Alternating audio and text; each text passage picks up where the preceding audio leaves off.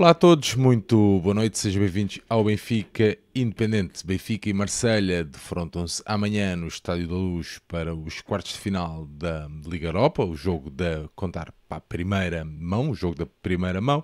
E cá estamos então na véspera desse jogo a fazer mais um programa de antevisão. Dar-vos já as boas noites e agradecer-vos por estarem aí desse lado, por tirarem um bocadinho da vossa semana e da vossa noite para estarem aqui na companhia, na minha companhia e do Monsieur João Nuno, exatamente, o homem que vos deixa loucos. João Nuno, como é que é, má frente? Ça Boa noite, Sérgio. Va? Uh, bien. Bien, bien. Como é que é? Bien? Uh, não. Um homem, que vai, um homem que vai para Paris ver os Jogos Olímpicos, João Nuno. É, vamos lá ver se vou para Paris. Isto como anda, sei lá, se agora, se agora isto não vai, não vão bloquear tudo. Eu, Juro, eu olha se te bloqueio, olha se te bloqueio uma ida a Paris. Não, não, numa, não. Numa, cena, numa, cena, numa cena mítica, meu. Não, não, nem penso. Espero bem que não, mas sei pronto, lá, isso é. Sei lá, medalha de ouro do, do, do Pimenta. Do não, Pimenta. Estou a dizer uma cena mais épica ainda, estás a ver? Sim, não, não, esquece lá isso, não, não vamos falar disso. Mas pronto, boa noite, Sérgio, boa noite aí à malta que nos está a ver e ouvir, e vai ouvir também depois. Já, já percebi que também há muita malta que, que gosta de ver no dia antes de ir para a luz, principalmente, e o pessoal que está longe e que vai fazer viagens amanhã. E pronto, e vamos lá para, o, para um confronto histórico, que estamos a falar de dois, duas equipas que já foram campeãs da Europa, o Marseille é se calhar a equipa mais mítica de França. O PSG hoje em dia está mais na moda, mas é muito pelo dinheiro. E em termos de história, o Marseille é, é, é mais forte ainda. É, é uma equipa que tem uma história por trás incrível. A par do, a par do Saint-Etienne, eram, eram clubes, clubes míticos mas dos anos 80. Sim, 70, 80. E, e 90 também. O Marseille é campeão da Europa sim, na, sim, na sim. década de 90. E pronto, e pá, é um confronto que é assim, nós estamos todos lixados pelos últimos dois derbys e perda dos dois principais objetivos, principalmente, pronto, a taça é, é, foi perdida, o campeonato agora só pode ser perdido pelo Sporting, é assim que eu vejo as coisas, não, não, não consegue, acho que não vamos conseguir ganhar o campeonato, é só vamos alcançar esse objetivo se o, suporte, se o Sporting perder, mas há aqui um objetivo importante, e é assim, eh, competições europeias, Liga Europa, eu vejo muita gente a dizer, uh, olhar para a Liga Europa quase como um, algo pouco importante, não. Para mim é muito importante se o Benfica ganhar a Liga Europa, eu vou ao Marquês, e isto é claro, não, não tenho a mais pequena dúvida. Competições europeias são competições europeias. Conference, estamos a falar de outro nível, mas a Liga Europa é fantástica. Eu tive em Amsterdão, eu tive em Turim, queria ganhar muito, muito, muito essas competições. O Benfica fez excelentes percursos até lá chegar e desta feita está, está a quatro jogos.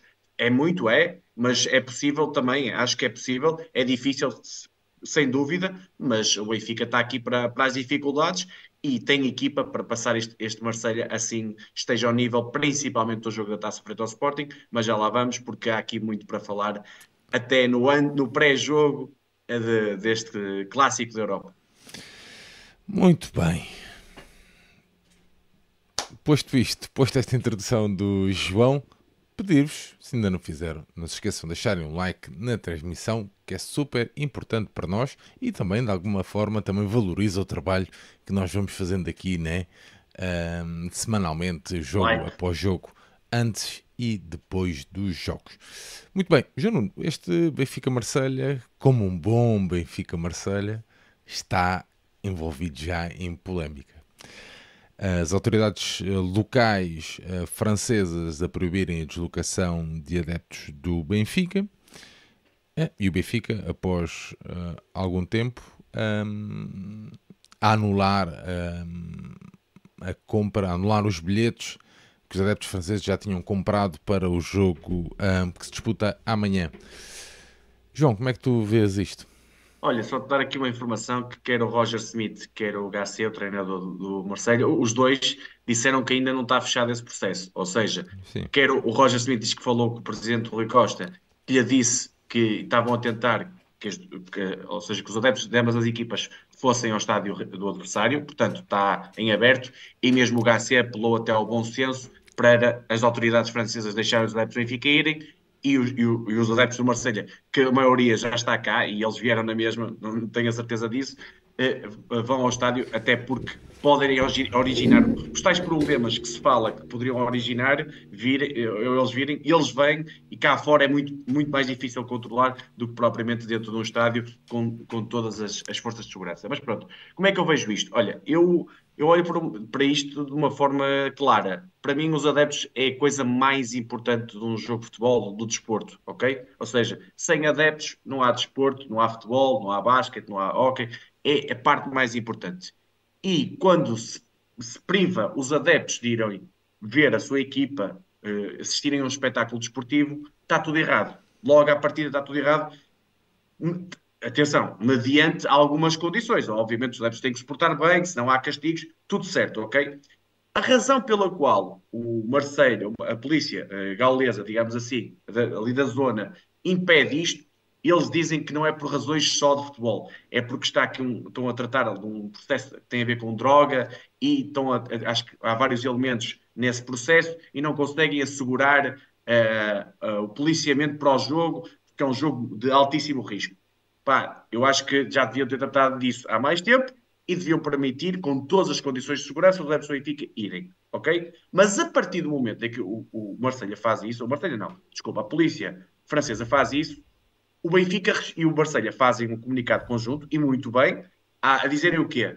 Nós estamos a tratar com o UEFA e com a polícia e com, e com toda a, a, organização do jogo para possibilitarem que haja condições para os adeptos do adversário irem assistir ao jogo no campo do rival, ok? E muito bem, ou seja, ao pôr os adeptos em primeiro lugar a fazer tudo. Só que, quando se percebeu que, pelos vistos, foi o que aconteceu vindo de França, que eu não ouvi aqui a polícia portuguesa falar disso, mas ouvia uh, alguns jornais muito ligados, ou jornais, ou redes sociais muito ligados ao Marselha a dizerem isto. Que a polícia francesa bloqueou, mas a polícia portuguesa estava a permitir. Foi o que eu li, não sei se é verdade, não há, não há declarações oficiais a partir daí, mas vou acreditar nisso. E por isso, o Benfica, percebendo isso, acredito que quis entrar naquele princípio que eu não odeio, que eu não gosto, que é o princípio da reciprocidade, porque já está a barrar. Eu percebo, no, no sentido de, em termos desportivos, está-se está, está a beneficiar um clube, ou seja, pode-se permitir um clube ter adeptos no campo rival, mas o outro não. Eu acho que há, há aqui um, por muito que seja pequenino, há aqui um benefício desportivo. É diferente os jogadores sentirem que os seus adeptos estão ali, não, os adeptos não estavam lá, ok? Mas por, esse, por, por aí eu entendo, mas nunca irei estar de acordo. Acho que os adeptos têm que ser permitido a isto. O Benfica até devia dar o exemplo em permitir que os adeptos uh, do, do Marseille viessem ao jogo, faziam o que, o que, tinham a fazer, com todas as condições de segurança, obviamente, e, e, traba e trabalhar, deixa-me só, deixa só acabar, e trabalhar para que fosse permitido com as autoridades francesas a irem, aliás, eu vi um, creio que foi o, adeptos, o, o Sevilha, a interpor uma ação, etc, etc. Sim, o clube, poderem... não foi os adeptos, foi o clube pronto, do clube a fazerem isso. O Benfica podia ir pelo mesmo caminho. Não, não, não, não acho nada disto bom, acho que só prejudica o futebol, prejudica o espetáculo, não ter adeptos adversários, quer na luz, quer, quer no vela de Roma. Mas pronto, é, infelizmente é o futebol que temos, cada vez a, a afastar mais as pessoas do futebol. João, dois, uh, só umas notas. Um, olhando aqui, primeiro ponto, sobre a questão da Liga Europa. Não é a Liga Europa que vai salvar a época. O João não, não disse isso. Agora, nós estamos a falar da Liga Europa porque é o próximo jogo, é o jogo de amanhã. E as antevisões são feitas por norma na véspera do jogo que se vai disputar no dia a seguir. Portanto, como nós somos o Benfica, temos que ganhar os jogos todos e amanhã é só mais um jogo que temos que ganhar. Por isso é que nós estamos focados na Liga Europa. E sim, se estamos numa competição, temos a obrigação, ou temos pelo menos de tentar ganhá-la. Ponto assente. Mas deixa-me só Segundo, dizer, seja, deixa-me só João, dizer uma coisa. Só, é sobre isso, é rápido, é rápido. Eu vou-me eu vou esquecer, eu vou-me esquecer. Não, mas espera aí, ou seja, tá, tá Liga Europa não, não, salva a época. A Liga Europa é fabulosa. Atenção, eu ponho aqui à vontade. Para mim, ganhar a Liga Europa é, é fantástico. Ganhar uma Liga Europa para mim é mais importante que, o, que um campeonato, ok? E não tô, eu, eu, não tenho problemas em dizer isto. Ganhar uma competição europeia, só quem não esteve em Amsterdão ou quem não percebe a dinâmica europeia, se o Benfica passar uma Liga Europa onde tem, por exemplo, como semifinalistas Liverpool, Milan Leverkusen, não é Sim. é uma fantástica Liga Europa? O Benfica quantas Ligas Europas tem no seu palmarés? Bola. Zero. É, Mas pronto. Podemos... Uh, João, uh, outro ponto relativamente à questão desportiva do jogo em si frente ao Marselha, o Benfica tem mais competência para levar de vencido, ou mais de, de qualidade, aliás, para levar de vencido este Marselha. E com ou sem adeptos, o Benfica só tem que provar isso dentro de campo que quer estar nas meias finais da Liga Europa. Este é o meu ponto. Um, olhando para a questão dos adeptos, não foi o Marselha. Isto é bom que os benfiquistas percebam. Uh, parece que às vezes eh, as cabeças duras são tramadas, ou como somos, ou como estamos a ser penalizados, parece aquela coisa tipo, pá, vou levar a bola, vou-me embora com a bola para casa. Não foi o Marselha que proibiu os adeptos do Benfica. Não foi o, o Pierre Van qualquer coisa que disse que não queria que os adeptos do Benfica. Não. Nós podemos condenar o problema que existe em Marselha, sim, e que as autoridades locais não conseguem controlar. Isso sim, devemos controlar. Agora, nós não devemos uh, prejudicar o João Nuné, que, que, é adepto do Marselha e que quer vir ao Estádio da Luz. Nós já estamos a ser prejudicados. Se nós, se nós temos muita malta conhecida que já comprou viagens, imaginem os adeptos do Marselha também que já compraram viagens e, acrescendo, já compraram bilhetes. E há aqui outra questão que é o Benfica, como o João Nuno disse bem, o Benfica emitiu um comunicado em conjunto com, com o Olímpico Marselha, mas o Benfica tem que se mexer nas instâncias superiores logo em defesa dos seus adeptos. Eu vou dar este exemplo muito que vocês possam, podem achar que é meio parvo, mas é um exemplo muito, muito crucial do respeito que existe pelos adeptos. Houve uh, uma avaria de um autocarro em Inglaterra. O jogo não começou, não foi um autocarro, mas pronto. O jogo não começou enquanto os adeptos não chegaram ao estádio. E este é o respeito pelos adeptos. Os adeptos têm, são, a parte, são uma das partes fundamentais do jogo. Portanto, sim, eu estou a condenar que não, Benfica, os adeptos do Benfica não têm culpa nenhuma uh, e não deviam ser proibidos, como é óbvio. E depois e há aquela questão também da liberdade de circulação. Portanto, o Benfica, a nível, até nível legal, podia e devia pegar nestes assuntos para mandar abaixo esta decisão. Depois os adeptos benfiquistas, os adeptos benfiquistas um, se calhar não sabem, ou não se recordam, ou se calhar são de gerações diferentes, ou se calhar não acompanhavam o clube tão atentamente. Há malta aqui a falar no chat de confusão, de porrada, não sei o quê. Eu vou-vos dar uma informação se calhar não sabem. A última vez que o Marseille se deslocou ao Estádio da Luz não foi assim há tanto tempo, nem foi noutra vida. Portanto, não foi na altura do Vata, já foi muito depois disso. 2010. Foi em 2010 as carrinhas dos adeptos de Marselha foram todas das partidas. Portanto, quem anda à chuva molha-se. Este é um ponto. Se tiver que acontecer alguma coisa, vai acontecer. malta não pode viver com essa obsessão. Nós não podemos é dizer assim, ah, como os nossos não vão, nós não vamos deixar os adeptos de Marselha, que também não têm culpa nenhuma de vir. Não, nós devemos dar o exemplo, man. Não, venham aqui, aqui podem, nós temos segurança, podem vir. Pá, e o Benfica tem é que fazer pressão junto às autoridades, juntamente com a Federação, juntamente com a Liga, na UEFA, na FIFA, num tribunal, se preciso, francês, tem que, tinha, tinha que pôr uma. Pá, interpelar como, como o Sevilha fez. E conseguiu vencer essa batalha. Portanto, isto é um problema com o Benfica. Os adeptos do, do PSG também não puderam ir a Marselha. É um problema maior. É um problema que se eu honestamente eu acho que nem nada tem a ver com futebol. E acho que o PSG já vai há, há 10 anos, ou o que é que não podem ir. Estás a ver? Pá, eu vou-te só, João, desculpa, eu hoje não estou com pouca paciência e então vou-te dizer só o seguinte. Tranquilo. Uh, uh, diz aqui, Sérgio, votaste no Rui Costa e estavas à espera que o Rui Costa e a sua direção fizessem algo para defender os benfiquistas? Ou oh, Enzo, olha, desculpa lá, tu não me leves a mal, mas eu, pá, vou, hoje estou neste ponto. Pá, não se sabem, não se sabem comportar, não se sabem estar no chat. Eu, enquanto estiver atento, pá, vai tudo corrida a eito. Se querem estar aqui com respeito uns pelos outros a falarmos sobre o Benfica, estão. Não querem estar, ponham-se a andar. João Nuno, outra questão sobre hum, o jogo hum, frente ao Olímpico Marselha.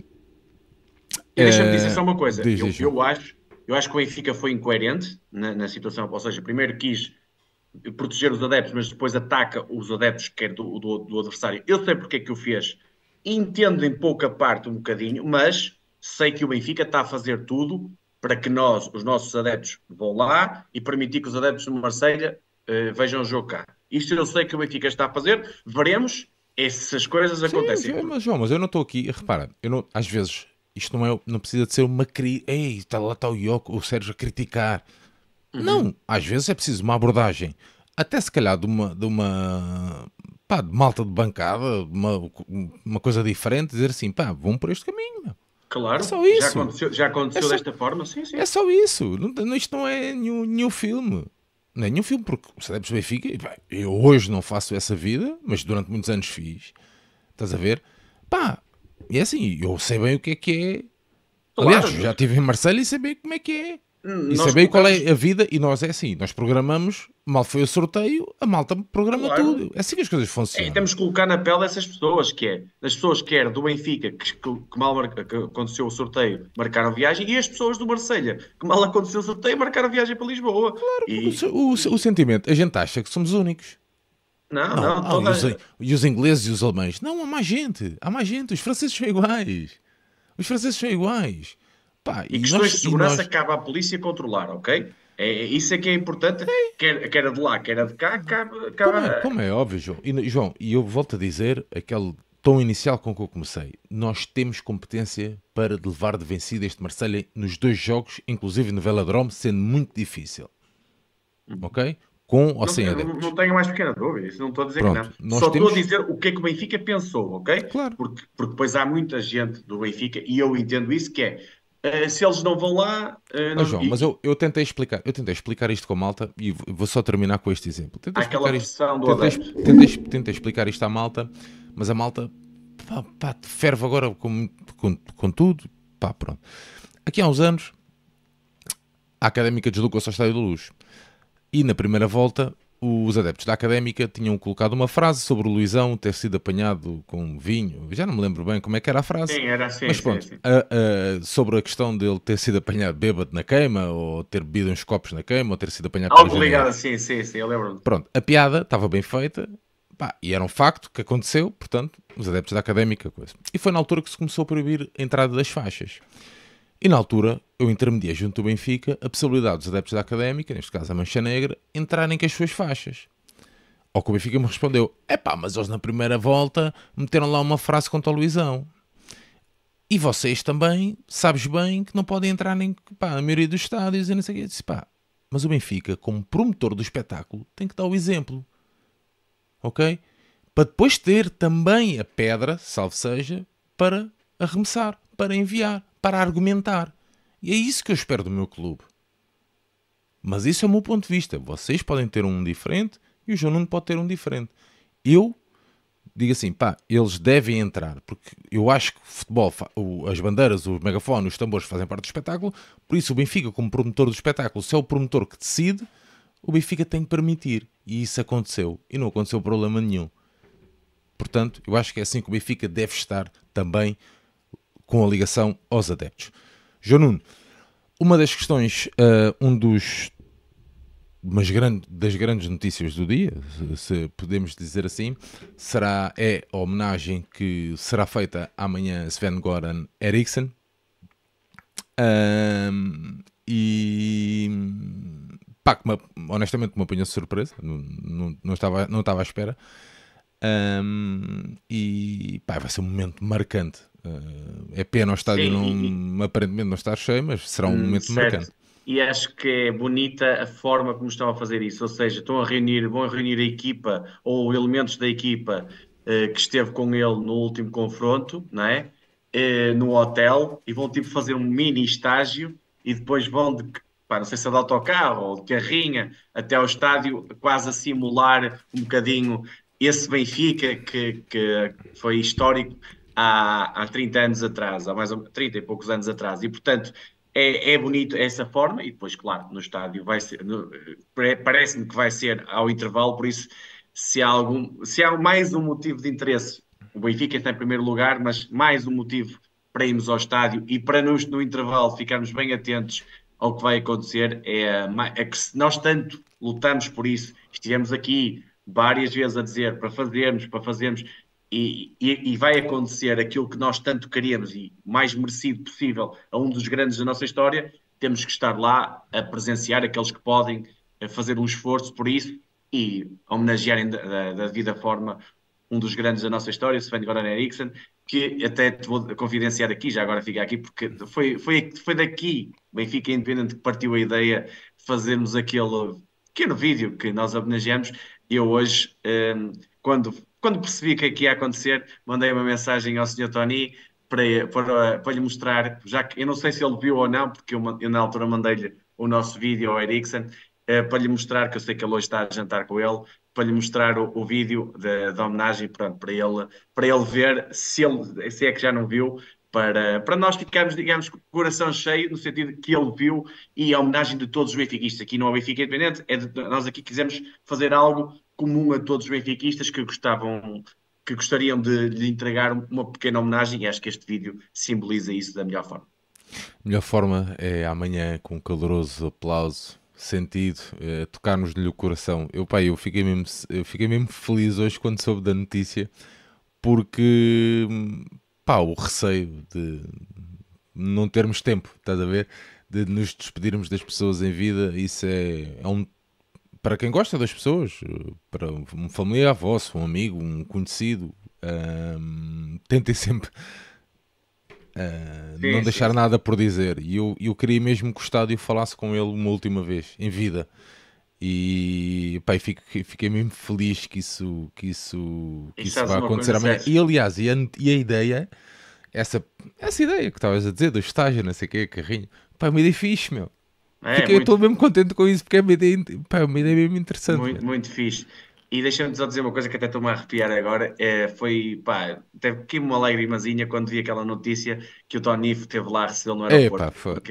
É o, é o encontro de, de dois campeões, de dois grandes amigos, duas pessoas que se dão maravilhosamente bem, de Benfica no seu esplendor. E pá, eu gostava Aliás, quem, que. Quem, quem é que nos arranjou na altura?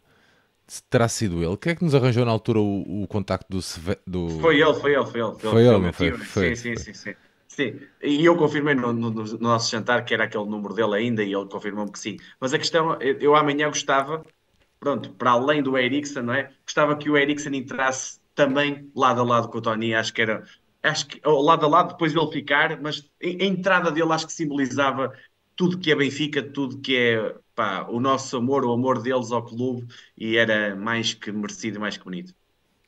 Muito bem, Jonas, se calhar antes que caiam aí as lágrimas, vamos, vamos, vamos. Já estou com umas rugas mesmo cansadas. Antes que nos caiam aí as lágrimas, vamos dar a, a andamento a isto. João, Benfica, uh, campeoníssimo clube português, a defrontar o histórico e mítico clube francês, que passa por uma, uma época muito abaixo da... Se calhar, turbulenta. Uma, uma, época turbulenta, né? em oitavo lugar do campeonato. Um, olhando, tive a olhar também pelos números, uma equipa que sofre muitos golos, João, e se calhar depois até vamos, uh, vamos falar um, um bocadinho sobre isso, porque será provavelmente uma das... Uma das, uma das uma zona mais debilitada da, da, da, sua equipa. Querias falar um bocadinho sobre, sobre o clube Sim, antes, só, não é, João? Porque sabes que eu olho para o Marselha e eu, eu cresci, eu sou de 87, eu cresci um bocadinho com o Marselha a ser a, a grande equipa de França, ok? Ou seja, para mim o, o Marselha tem algumas parecências com o Benfica na paixão dos adeptos. E é muito. Nós falávamos do inferno da luz, não é? Eu, eu, pelo menos, nasci com a cena do inferno, e é o inferno Vela de Roma. Há muito essa yeah. é a paixão dos adeptos, a garra, a intensidade com que vivem o clube. Eu acho que tem. Eu muitas... uso a expressão, eu uso muito esta expressão, uh, esta uh, anarquia de. Um, anarquia do povo, estás a ver? Que, de, que, que são pessoas muito diferentes, vá para não, para não ferir aqui suscetibilidades. São pessoas muito diferentes e eu, eu, por acaso, eu partilho dessa opinião que tu tens, meu. honestamente. Eu, eu revejo muito o Benfica uh, no Marcelo. E pá, e acho que é muito por aí. Obviamente podem-me dizer, eu sei que já podem vir com aquela história, e é verdade, a questão dos casos de corrupção que aconteceram não, sim, no Marseille. Não, não estou a falar disso. Não, não, não, Pronto, não, mas para Sim, aliás, hoje nem é bom dia para falar disso, mas sim. É, é, é, para, exato, é, para, é para entender um bocadinho onde é que eu quero chegar. E portanto, o, o Marselha, mas também viveu uma, aqui uma crise há pouco tempo e até mudou de presidente, um, um senhor que agora tornou-se é espanhol, não é? É o Pablo Longoria, ou o que é que é. Sim, é 37 anos, é aliás, tem quase tem a minha idade praticamente, portanto, já é presidente do, do Marselha e ele revolucionou um bocadinho o Marselha. E é aqui que eu queria enquadrar isto. Ele é presidente desde 2021 e mudou uh, o paradigma neste sentido. Ele, de cima a baixo do clube, ele mudou totalmente e profissionalizou muito mais. Ou seja, ele contratou um, um, um creio que o Otero, um, uma pessoa para a formação, ligada à formação.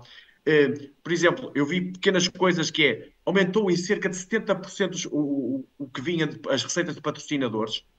Uh, por exemplo, uma, uma, pequena curiosidade, mas a presença do, do Marcelo nas redes sociais já vai com 21 milhões de seguidores. Foi uma coisa, investiu muito nessa, nessa área também.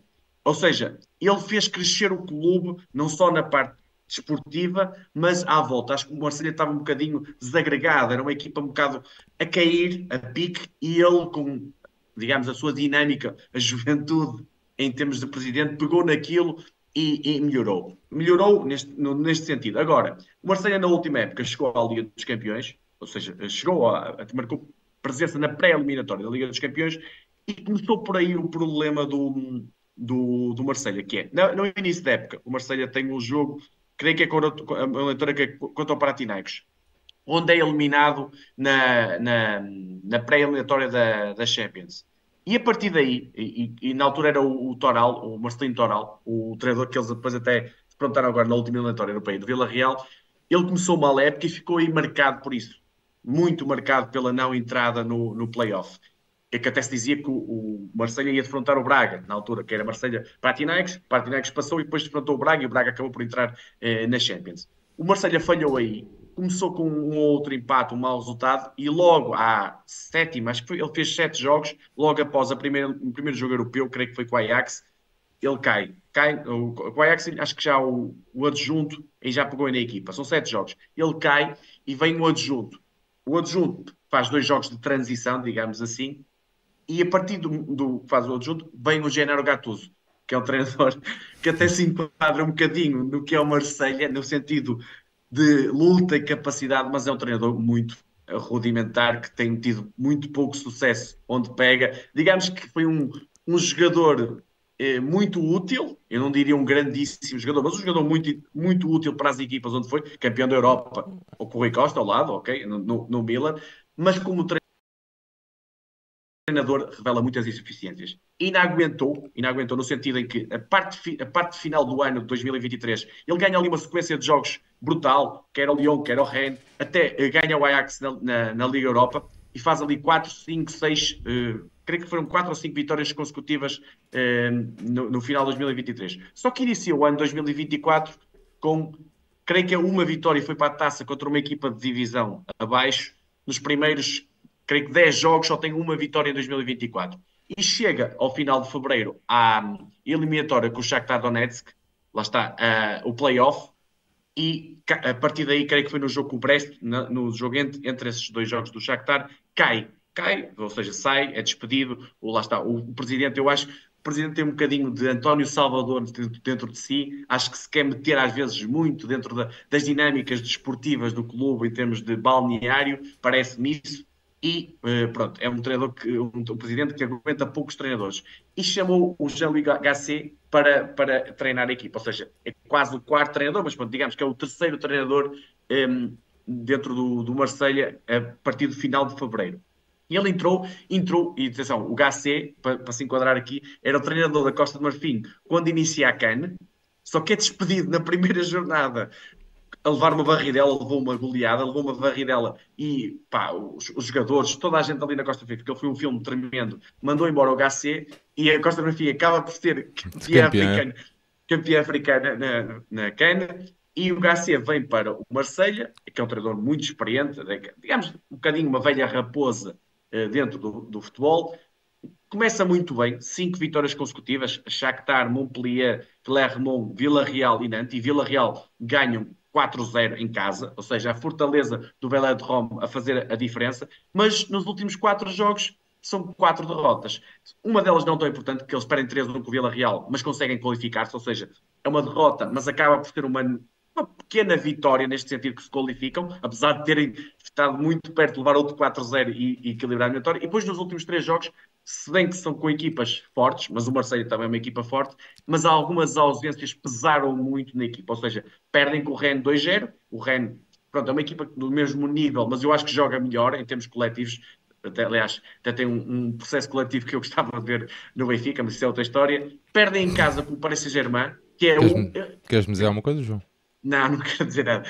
É a única derrota que tem, ou, ou, das poucas derrotas, eu não sei se é a única no campeonato, que o Marseille até, eu não sei se é a melhor equipa, se é a segunda melhor equipa em casa, contra o Paris Saint-Germain 2-0 e até contra menos, o Paris Saint-Germain com menos 1, ou seja, o Paris Saint-Germain ainda consegue ganhar no Velodrome, basta sem adeptos, o Gonçalo Ramos a marcar e a ter que levar, e a polícia a proteger com os gols. a grande imagem, é. Uma cena surreal, mas para, para se perceber bem como é que é a dinâmica do Velodrome em termos de ambiente, e um, perde agora no último jogo, o jogo que eu vi mais atentamente, aliás, até partilhei uma brincadeira no, no Twitter, o jogo com o Lille do Paulo Fonseca, que está num extraordinário momento, perde 3 a 1, onde o Lille foi superior, mas não foi assim tão superior. O Marselha bateu-se bem e se não fossem aquilo e pequenos erros individuais, podia ser um jogo uh, bem mais equilibrado do que o resultado diz. Portanto, eles vêm de quatro derrotas consecutivas, estão aqui no mau momento, o presidente está a ser contestado, lá está, porque se mete demasiado na política de balneário, os jogadores estão a ser contestados porque alguns deles é que têm aquela magia africana, mas gostam de falar demais. E eu não estou aqui a falar só do Aubameyang, que é a estrela máxima desta equipa. O treinador está a ser contestado pelos resultados, apesar de ter começado bem, quatro derrotas. E quando se pensava, depois destas cinco vitórias, que podiam chegar à Liga dos Campeões, ou seja, o objetivo, obviamente, em, em França, o título está entregue à partida, é daqueles campeonatos em que o PS, é o PSG e os outros. O título é o segundo lugar. O objetivo do Marseille era o segundo lugar. Quando estava perto, ou seja, a caminhar para poder chegar ao, ao segundo e terceiro lugar, que dão acesso à Liga dos Campeões da próxima época. O Marselha estava ali, mas com estas três derrotas está a muitos pontos de diferença no oitavo lugar e parece-me que acaba esse sonho. Aliás, o Aubameyang, hoje em conferência de imprensa, disse praticamente isso e disse, vamos tentar chegar o mais perto possível, se quer ao, ao top 5 é um, um objetivo mais realista e vamos lutar é pelo Liga Europa. E porquê? Porque a Liga Europa, quem ganhar a Liga Europa dá acesso direto à Champions. à Champions. É, aliás, até pote 1 da Champions. Portanto, a pote 1, agora já não sei se isso se acontece na, na, Champions da próxima época. Pronto, aqui há umas mudanças. Yeah, tenho. Muda o formato. Aliás, para, para o ano, já que estávamos a falar em viagens, para o ano vai ser um fartote. Sim, sim, é verdade, é verdade. E pronto, e, e, e o Marselha, tal como o Benfica, o Benfica, por razões infeliz e o Martelho também, mas mais, mais João, mas seja, se, tivesse, se tivéssemos que ali na balança. Deixa-me só dizer, o foco. Quem é que chega no pior equipas, momento?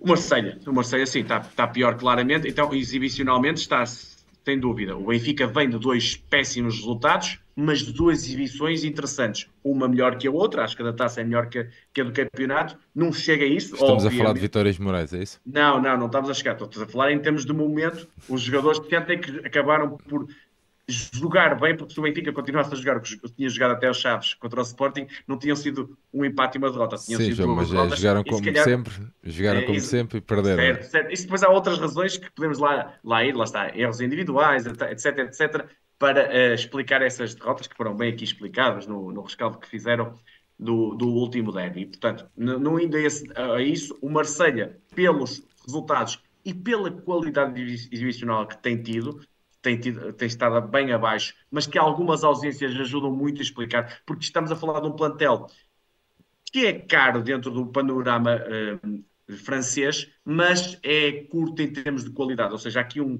um núcleo forte, do Marselha e já lá vamos, mas falha uma, duas ausências de alguns dos melhores jogadores, quebra muito. E eles têm o, o Bá deles e o Neres deles, digamos assim, ou o Di Maria deles, mas, mas o, Bá, o Bá e o Neres deles lesionados. E, portanto, com esses dois jogadores lesionados, têm muitas dificuldades, ok? E, portanto, é uma equipa muito virada ao lado esquerdo, sem lado direito, e, e por isso é que também ajuda a explicar um bocadinho estes, estes, hum, este mau momento e chegam aqui. Mas é assim, o foco das duas equipas é a Liga Europa. Uh, neste momento, o objetivo principal da época das duas equipas, obviamente que o Benfica tem a obrigação de ganhar os seis jogos do campeonato. Isto não está. E depois esperar ver o que é que o Sporting vai fazer ou não. Mas, realisticamente olhando, a Liga Europa passa a ser o objetivo principal. Isto não quer dizer que vamos ganhar a Liga Europa, é passo a passo. A primeiro, o primeiro passo que temos que dar é aqui. E eu acho, e olhando aqui para até para o que é o Marselha deste ano e também com o, o KC, o Marselha é a terceira pior equipa fora de casa da Liga.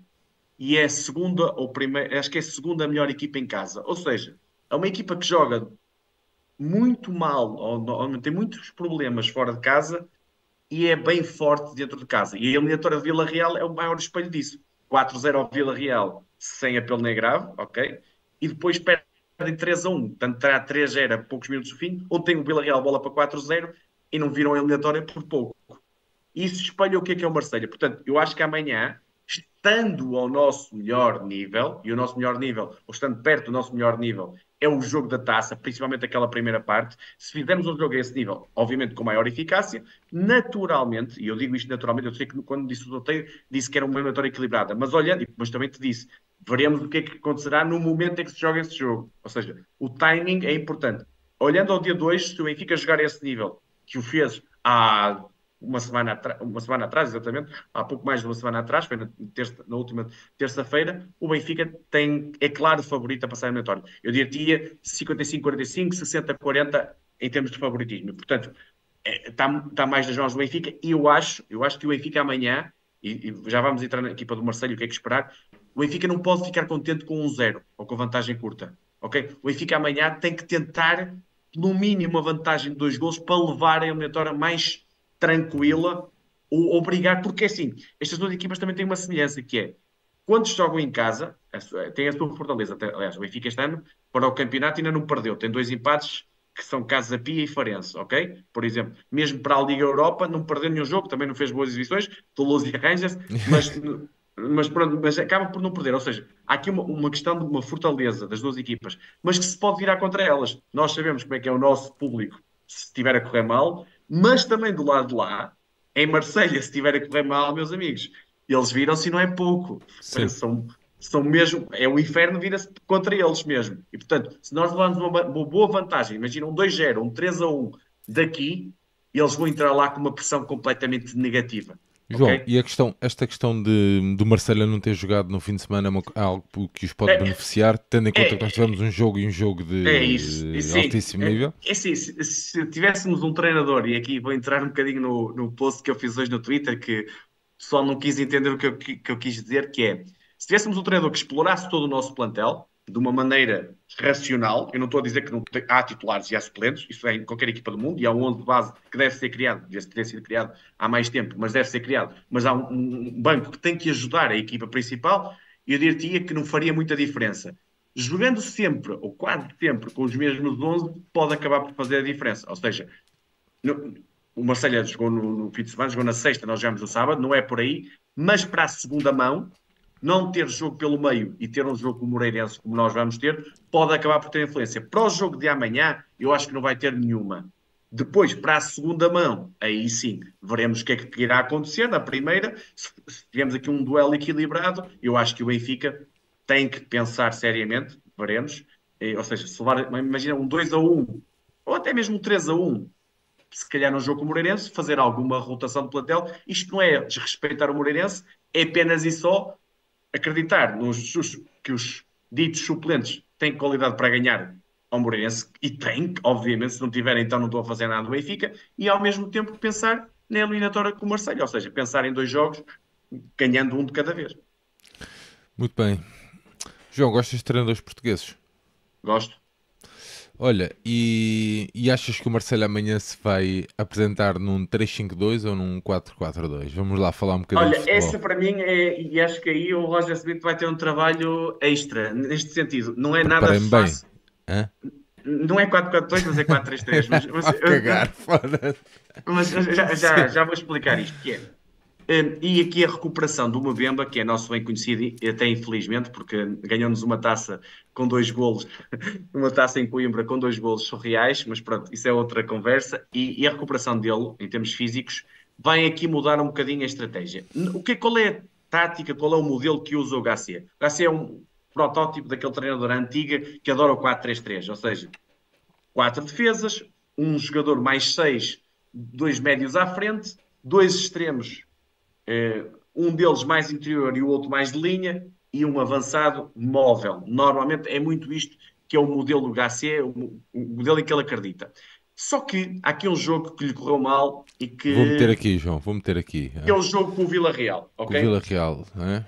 Que é o jogo que lhe correu mal. O jogo com o Vila Real, está aqui. Ele aí jogou com três que chegou aí com uma linha de três e eu já expliquei, pronto, na altura acho que foi um bocadinho uma invenção dele, mas que eu acho que amanhã pode acontecer. E, e pode acontecer porquê? Porque, eh, indo aqui ao, ao, como é que diz, ao plantel deles, eles têm eh, uma ausência que é para mim, e aí digo-te já, que é se calhar a seguir ao Aubameyang, o melhor jogador da equipa, que é o Jonathan Klaus, que é um lateral fabuloso. Eu gosto mesmo muito, muito. Aliás, se me dissesses que vinha ao Benfica, dizia-te já, já mesmo. É um lateral, até pode, ser, pode servir de ala, mas é um lateral muito, muito forte, faz o corredor todo muito bem, defende bem, ataca bem, cruza bem, acho que é muito completo e lesionou-se na paragem FIFA, ok? E, portanto, essa lesão é importantíssima. E eles, eles têm usado na, na Liga, e até com o Lille, usaram o Ulisses Garcia, que é um, um lateral esquerdo, como lateral direito, que é uma coisa estranha. Eu, eu vi muito pouco no futebol e tenho ah, usado. Tem, estranho? Tem, Sim, tem feito isso. Um... Estás a falar, então o nosso clube mete um, um médio, um médio. Não, não. Chega a jogar defesa direita. Então, não, ele não mas... chega, então ele não chega a jogar defesa direita, defesa esquerda? Não, mas não é isso. Um pé esquerdo jogado do lado direito é mais estranho. É muito, é muito mais estranho. É mais estranho que o um médio fazer. É, é, é, é muito mais Porra. estranho. Um pé esquerdo, lembra? Diz-me diz só um pé esquerdo que joga lateral direito e depois vamos falar. Mas pronto, não, não, não, é, não é isso que eu quero vir à conversa. Mas o Ulisses Garcia, que é o suíço, tem jogado assim. Só que o Ulisses Garcia não está inscrito na Liga Europa e, portanto, não pode jogar amanhã. E tu perguntas-me assim: quer ele, quer um, um, um médio, o Papa Gaye, que também jogou a titular no jogo com o Lille, esses dois jogadores não estão inscritos. E porquê? Porque há a questão das vagas de franceses e formados localmente. E eles ficaram de fora na altura em que eh, tiveram que fazer essa inscrição. E, portanto, agora eles sofrem um mal, que é, eles não têm lateral direito para o jogo. E o que é que é não ter lateral direito? Que é, eles recuperaram um jogador, está na convocatória, que já não joga desde janeiro, que é o, o segundo lateral direito deles, que é o Micael Murilo, que é um jogador do Panamá.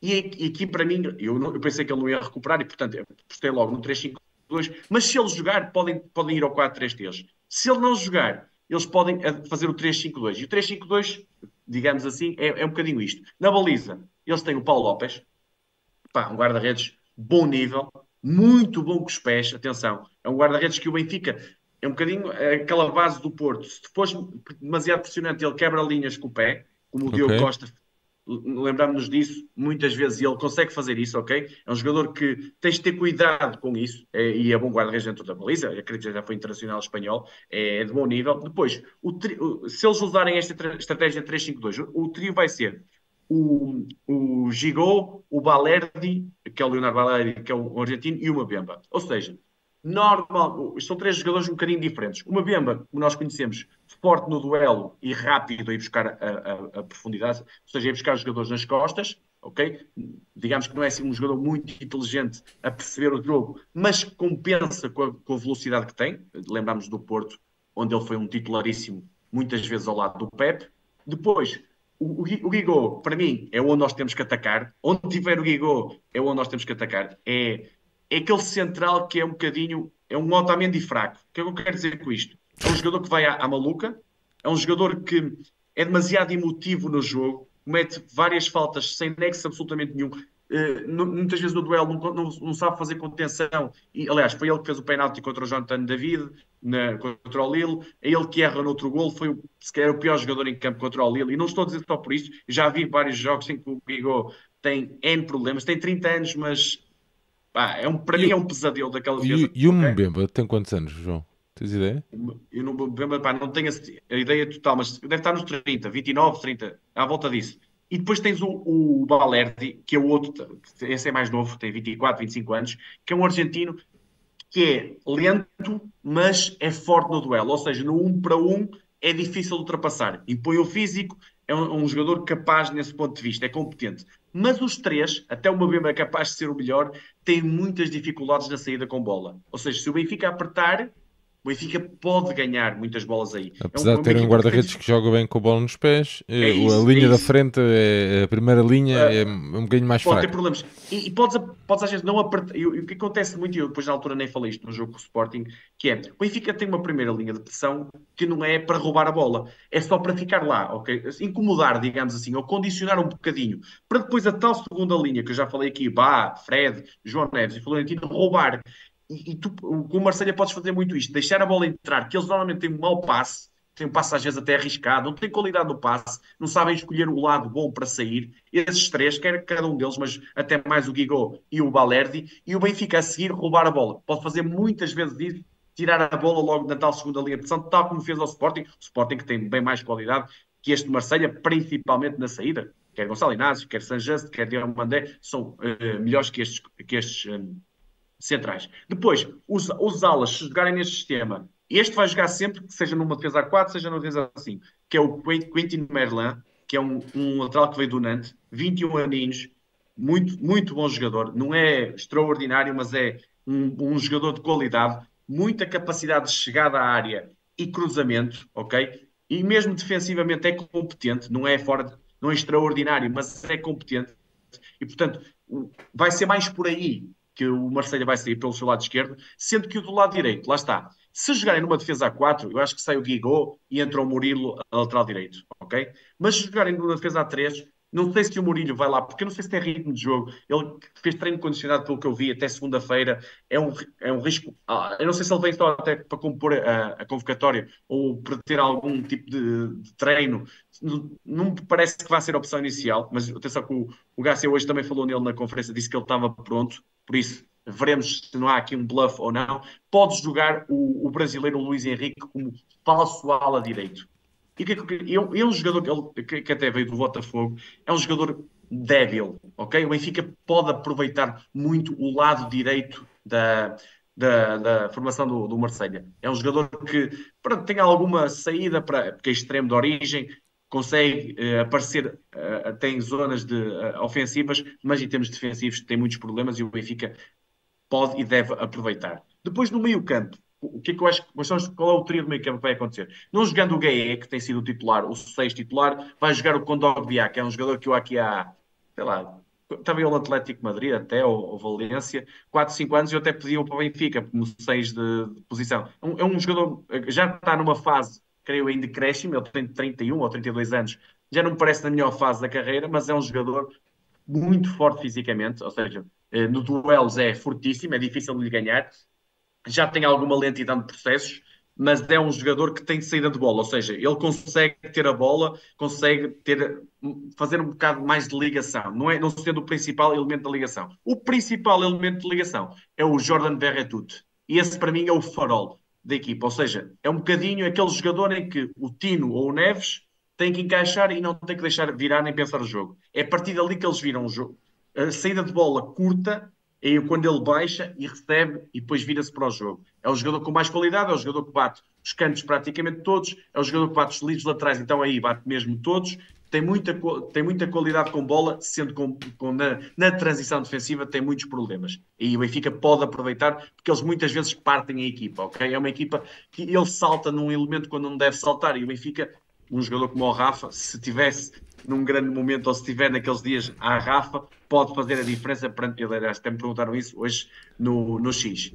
E depois, o terceiro elemento que eu, eu acho que, que, vai jogar é o, o o, que é o, o, Como é que se diz? O, marroquino, que, ou o Onani ou o Arit. Aqui é a minha dúvida. É, não sei se vai jogar o Onani. O Onani é aquele uh, marroquino que fez um Mundial fabuloso que levou Marrocos foi escolhido um, um dos melhores da competição, fez um, um, um, Mundial absolutamente incrível, mas não está a esse nível, está até longe desse nível. É um jogador de, que consegue conduzir a bola, mas até, até olhando para o jogo e para o jogo que fez contra o Lille, eu acho que o Arit, que é outro marroquino, lá está, a influência africana dentro desta equipa do Marselha, dado também a conjuntura toda cultural ali à volta da, do clube e da cidade, o Arit, eu acho que vai ser o titular, o marroquino.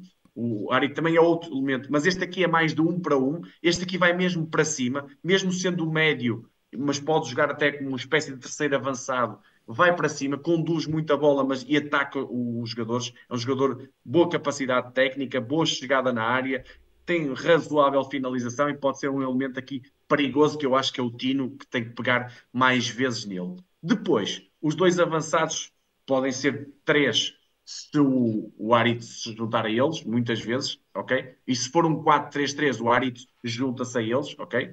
Se for a, a, tal estrutura que é a base do HC, mas eu pode não ser a, a, a da manhã, porque eu acho que o Marseille vai tentar elevar a eliminatória para o Vela de Rome e não ganhar a eliminatória aqui, ok? Vai, vai jogar num bloco mais mas, baixo. Por exemplo, se for, no, se for o, se, se, tu achas que, que os, os, atletas escolhidos uh, mudam muito se for de 4-3-3 para, para esta 3-5-2? Muda, muda, principalmente a nível defensivo. Eles okay. sentem-se mais. Eles, eles acabam por se sentir se forem bloco baixo, ok? Se esperarem por nós, acabam por nos tirar mais espaço com uma linha de 5 atrás do que propriamente uma linha de 4, ok? Eles defendem, digamos, mas tu achas menos, que, mas tu achas menos... que ele vai... Diz, diz. Não, não, ia-te perguntar se tu, se tu, achas que eles vão tomar a, a, a iniciativa. Não, de... não, não, não, não, não, Eu acho que não. Eu acho que vão nos dar a nós a, iniciativa um, do jogo, onde o Benfica vai ter que assumir mais o controle da posse de bola. Mas estava-te a dizer, os dois elementos só para, para, completar a equipa do que eu acho que vai jogar amanhã, o Diai e o Aubameyang. O que é que acontece? O Aubameyang, as pessoas olham para ele e ele tem, creio que já tem 23 gols, é o melhor marcador da história da Liga Europa, creio que tem 30 e tal. É um, para mim é um jogador fora de série. Eu chamava na altura, quando ele quase que apareceu, um mini Thierry Henry, e tinha hum. tudo para isso. Se a cabeça fosse condizente com o futebol que tem, era um jogador, aliás, fez épocas incríveis no Arsenal, marcou-nos, eu, estava a ouvir hoje a conferência de imprensa, ele marcou-nos três pelo Dortmund e dois pelo Arsenal nos últimos tempos. Sempre, ou seja, eh, ele tem, já tem um, um lastro contra o, perante o Benfica, portanto, é preciso ter muito, aliás, parte do jogo ofensivo, parte não, muito, 90% se calhar do jogo ofensivo é olhado para o Aubameyang. É um bocadinho o Di Maria deles, noutro sentido, ok? Mais finalizador e menos, menos criador. Mas o Nediai vai fazer de falso avançado, vai jogar muitas vezes como o jogador mais perto da, da baliza contrária, com o Aubameyang a cair do lado esquerdo. Ainda hoje o Garcia disse, entrou na conferência de imprensa, foi uma coisa gira, o, o, Aubameyang disse, um, como é que ele disse? Foi ah, a Liga Europa é que é mais importante, nós, nós estamos focados na Liga Francesa, mas agora o nosso, o nosso objetivo máximo é a Liga Europa. E ele disse assim: o Garcia perguntaram isso, a mesma pergunta, ou seja, agora a Liga Europa é o, é o principal objetivo. Se o melhor jogador da equipa e o gajo que marca os gols todos diz isto, eu vou atrás dele. Eu entendo que eles, eles foquem na Liga Francesa, mas eles estão com o foco total na Liga Europa. Portanto, eles, eles vão atrás do Aubameyang, o Aubameyang é o líder, é o melhor jogador, é o melhor marcador, é tudo e mais alguma coisa dentro desta equipa, e ele gosta, ele faz o que quer, entre aspas, e que quando as pessoas querem, percebem o que eu quero dizer, ou seja, ele gosta de jogar da esquerda para dentro. Ele vai cair muito na zona entre o Bá e o António Silva. Vai, okay. vai, vai, passar o jogo todo aí. E aqueles movimentos que ele faz da esquerda para dentro têm que ser bem bloqueados. Ou seja, o Bá amanhã, por muito que ou seja um lateral ofensivo, vai ter que ter muita atenção. Não pode deixar o Aubameyang um para um com o António Silva. O António Silva é forte no duelo, é, mas o Aubameyang estamos a falar de um nível acima 1 para 1. Yeah. E, é um, e é um jogador que na, na, o primeiro momento de, aceleração é do melhor que há no mundo, ok? E depois de finalização é muito forte. Ele já leva 23 gols esta época, está numa das melhores épocas da carreira, mesmo não estando nos melhores clubes, no, no, no, seu auge eh, em termos de, de, carreira. Portanto, temos de ter muito cuidado. E ao mesmo tempo, o, o Nadiai é um jogador agressivo, não é um fora de série. E falta-lhes aqui, quem é que lhes falta aqui? Deixa, é isso que eu queria dizer. O, o que é o, o tal, o, o Ismael Assar, que é o, o tal extremo direito, que normalmente, por isso é que falta Klaus e Sar, que é a tua ala direita, que é muito forte. O Sar, para mim, é, é, lá está, é dos melhores jogadores, desequilibrador, jogador que consegue atacar muito bem. É uma espécie de, pá, não digo de sálvio neste sentido, mas ataca muito bem a baliza vindo da direita. É um extremo desequilibrador e falta-lhe esse jogador. O Nadiai vai ser um bocadinho um falso jogador, vai, vai jogar ali perto da área, mas vai sair para, para alguns movimentos do Aubameyang. Ou seja, Amanhã, o que, é que pode acontecer, e, e isto, o Benfica tem que ter muita atenção, os centrais. Não há, vai haver uma referência. Os, os centrais não vão ter aquele jogador, vamos, chamamos do Guiócares, chamemos do Evan Nilsson, chamemos do. Pá, pronto, ou, outro tipo de. um avançado, meio, um banza desta vida. Vão ter que ter cuidado, eh, se vão atrás, vão deixar espaço para. E o Aritz e o Nediai, se vão atrás do Aubameyang, vai haver espaço aí. Portanto, há que ter aqui um equilíbrio, há que perceber bem onde é que o Aubameyang é perigoso. O Aubameyang é perigoso do meio do meio campo até à baliza. Atrás desse meio, não temos que ir atrás do Aubameyang, ok? É a partir dali da, da, dessa zona. E não de...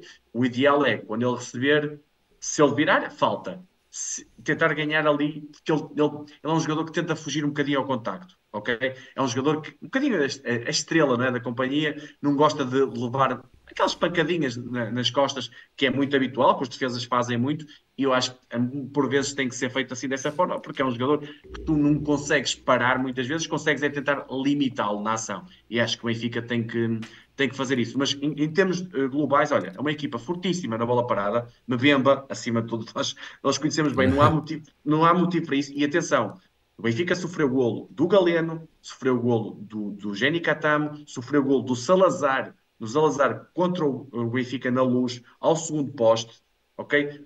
O segundo poste das nossas bolas paradas está a ser, está, está-nos a ser prejudicial. Está a ficar esquecido. E, e, muitas vezes a segunda bola dos cantos, ok? Ou seja, o Benfica tem que ter alguém a proteger. O Benfica não pode ter os 11 jogadores ali, porque há uma segunda bola Normalmente o que, é que acontece nos cantos? Ou a bola vai para fora ou vai, vai para o lado contrário. E se é uma segunda bola, temos de ter ali alguém, e normalmente é o Di Maria. E não, e não pode ser o Di Maria, porque o Di Maria não tem essa apetência, o Di Maria esquece, o Di Maria foge. O Di Maria não é, não é esse jogador que tem que estar ali a, a, a comandar ou à espera de uma segunda bola para aliviar ou para uh, bloquear um, espécie de remate de, do adversário. E há muito, ter muito cuidado com isso, porque o Marseille é uma equipa forte na, na bola parada, o Verra é tudo a bater, quer que seja livre quer seja cantos. Depois vão explorar muito o lado esquerdo, Bá, e, eu acredito que vai ser o Di Maria, o Di Maria vai ter que ser protegido, porque o, o, o Merlin, o Merlin vai subir muito, ok? E, e o Di Maria vai ter que ter cuidado com isso. Eu, eu, eu amanhã, se fosse o treinador, fazia o que fez em Alvalade e muito bem, e eu vi mais uma vez em Alvalade quem fez isso não foi o Roger Smith, foi o Di Maria. O Di Maria foi ter com o Neres, e eu vi ninguém me contou. Foi ter com o Neres e disse: tu para a direita e eu para a esquerda. Foi ele próprio que disse isto. Pronto, está tudo bem, eu acho que fez muito mas, bem. Mas tem indicação, João, não sabes? Certo. Quer dizer, tu sabes, mas pronto.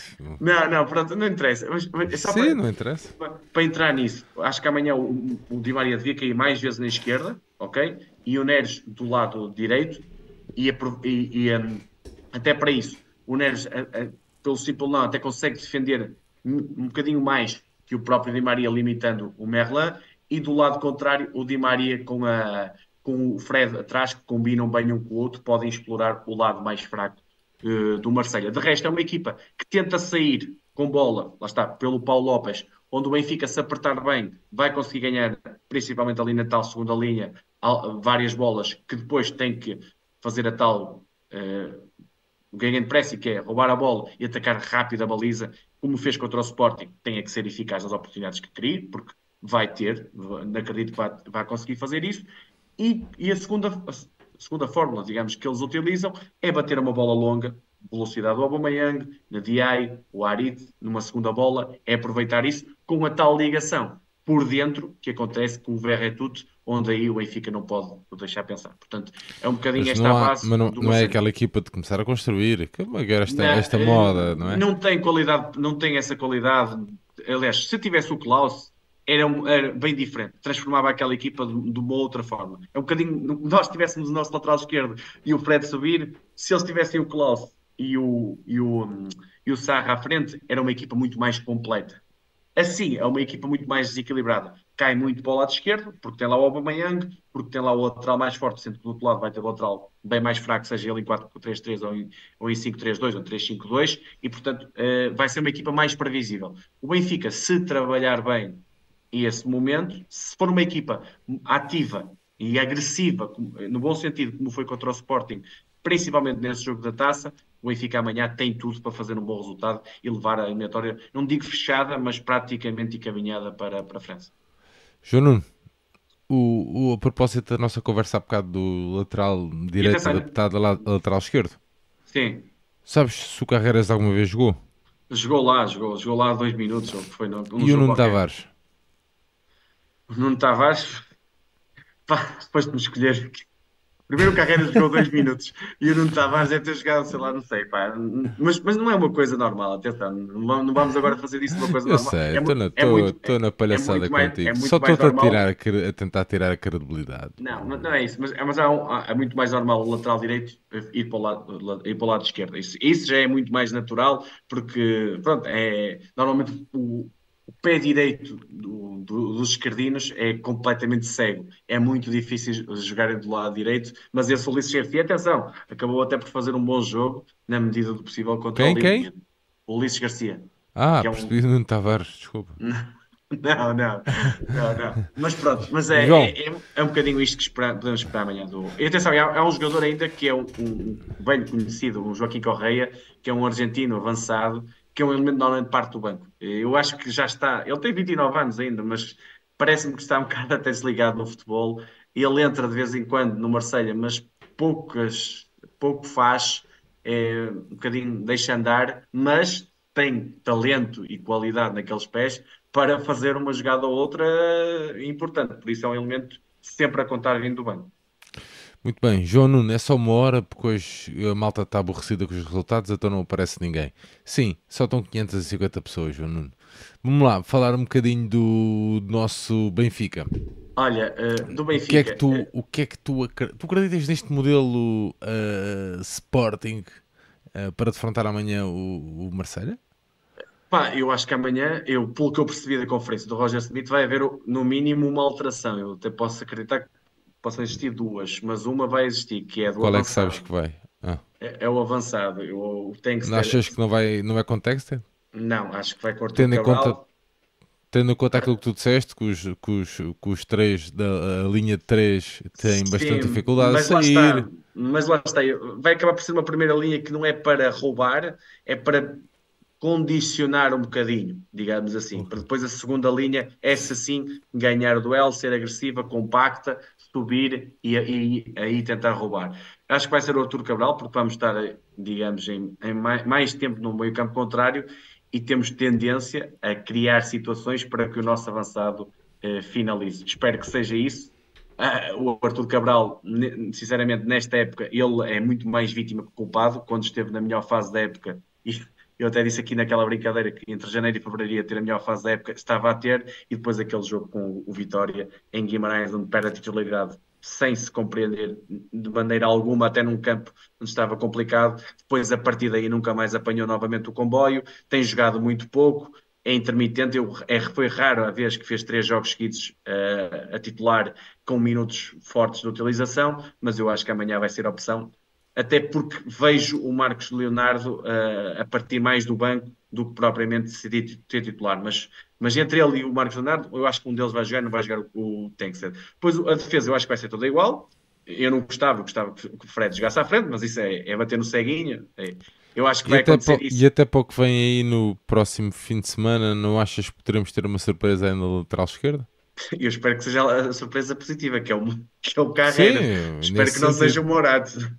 Eu espero bem que não seja o Morato, mas. mas não, me estava não, a, não me estava a referir a esse nível não, de surpresa. Não meti, não meti as mãos no fogo por causa disso. Mas, mas eu acho que a outra eh, alteração que possa surgir é a questão do Neres. É poder não jogar o Neres e jogar ali um João Mário e jogar ali um até um Tiago Gouveia. Um, eu acho que pode jogar outro jogador no lugar do Neres. Se eu tivesse que apostar, apostava no mesmo 10 mais o Arthur Cabral, mas ponho, digamos, algumas, uh, algumas dúvidas em que o Neres vai ser o, o jogador uh, vai, vai ser titular e não joga alguém no lugar dele. Eu, se fosse eu, João Nuno, eu, o meu 11 para amanhã era tão simples quanto isto: Trubin, Bá, António Silva, Tomás Araújo e Carreiras, ok? Tino, João Neves, Fred na, na esquerda, Di Maria, Cox e Arturo Cabral. Era assim Mas não, fica, não, fica, não ficaríamos muito expostos ali, principalmente do lado esquerdo, a muito tenrinhos. Não, não, porque o lado não. direito do, do Marselha, neste caso, é um lado direito mais débil, não irá criar muitos problemas, eles vão atacar pelo lado esquerdo e, portanto, era o meu 11, mas sei que não vai, não vai ser possível.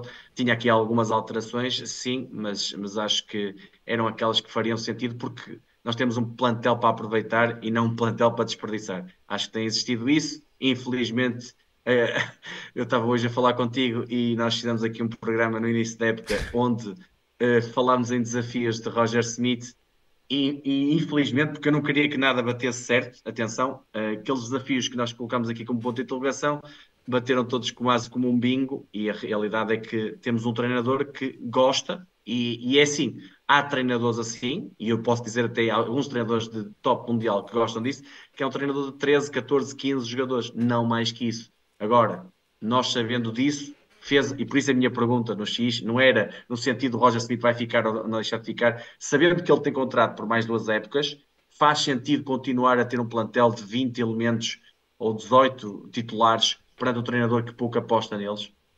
Se calhar não. Se calhar, se calhar devíamos rever um bocadinho essa política, sabendo que ainda temos vários emprestados aí à, à mão de semear. Mas pronto, contra este jogo, Sérgio, João, o que, é que, temos, que é que temos de fazer para levar de vencido aqui o Marcelo? Olha, o Benfica tem que aproveitar muito, muito o lado direito da, da defesa do Marselha. Acho que é por aí, ou seja, o nosso lado esquerdo do ataque, é por aí que temos que criar os desequilíbrios eh, em, em primeira mão. Depois, alguma paciência com bola, evitar os duelos, isto é, no duelo físico eles são superiores, portanto, temos que fazer rodar a bola, circular a bola com velocidade, porque eles aí têm, têm muita dificuldade, quer na linha média, quer na linha defensiva. Sim, se fizermos isso com muita frequência, o desgaste também é brutal. Sim, eles vão, eles vão abrir espaços. É uma equipa taticamente que comete vários erros, é, posicionalmente eh, sai muito, sai muito, ou seja, são muito pouco inteligentes a interpretar o jogo e, portanto, o Benfica vai acabar por ter oportunidades. Depois, obviamente, o costume, bola parada, mais eficiente. Aliás, viu-se quando o Di Maria bateu uma bola, lá está, bem batida ao segundo posto, o Bá apareceu e fez gol, e, e, e, isso é muito importante. Esperemos que amanhã esteja de, também dessa forma eh, eficaz a fazer a diferença.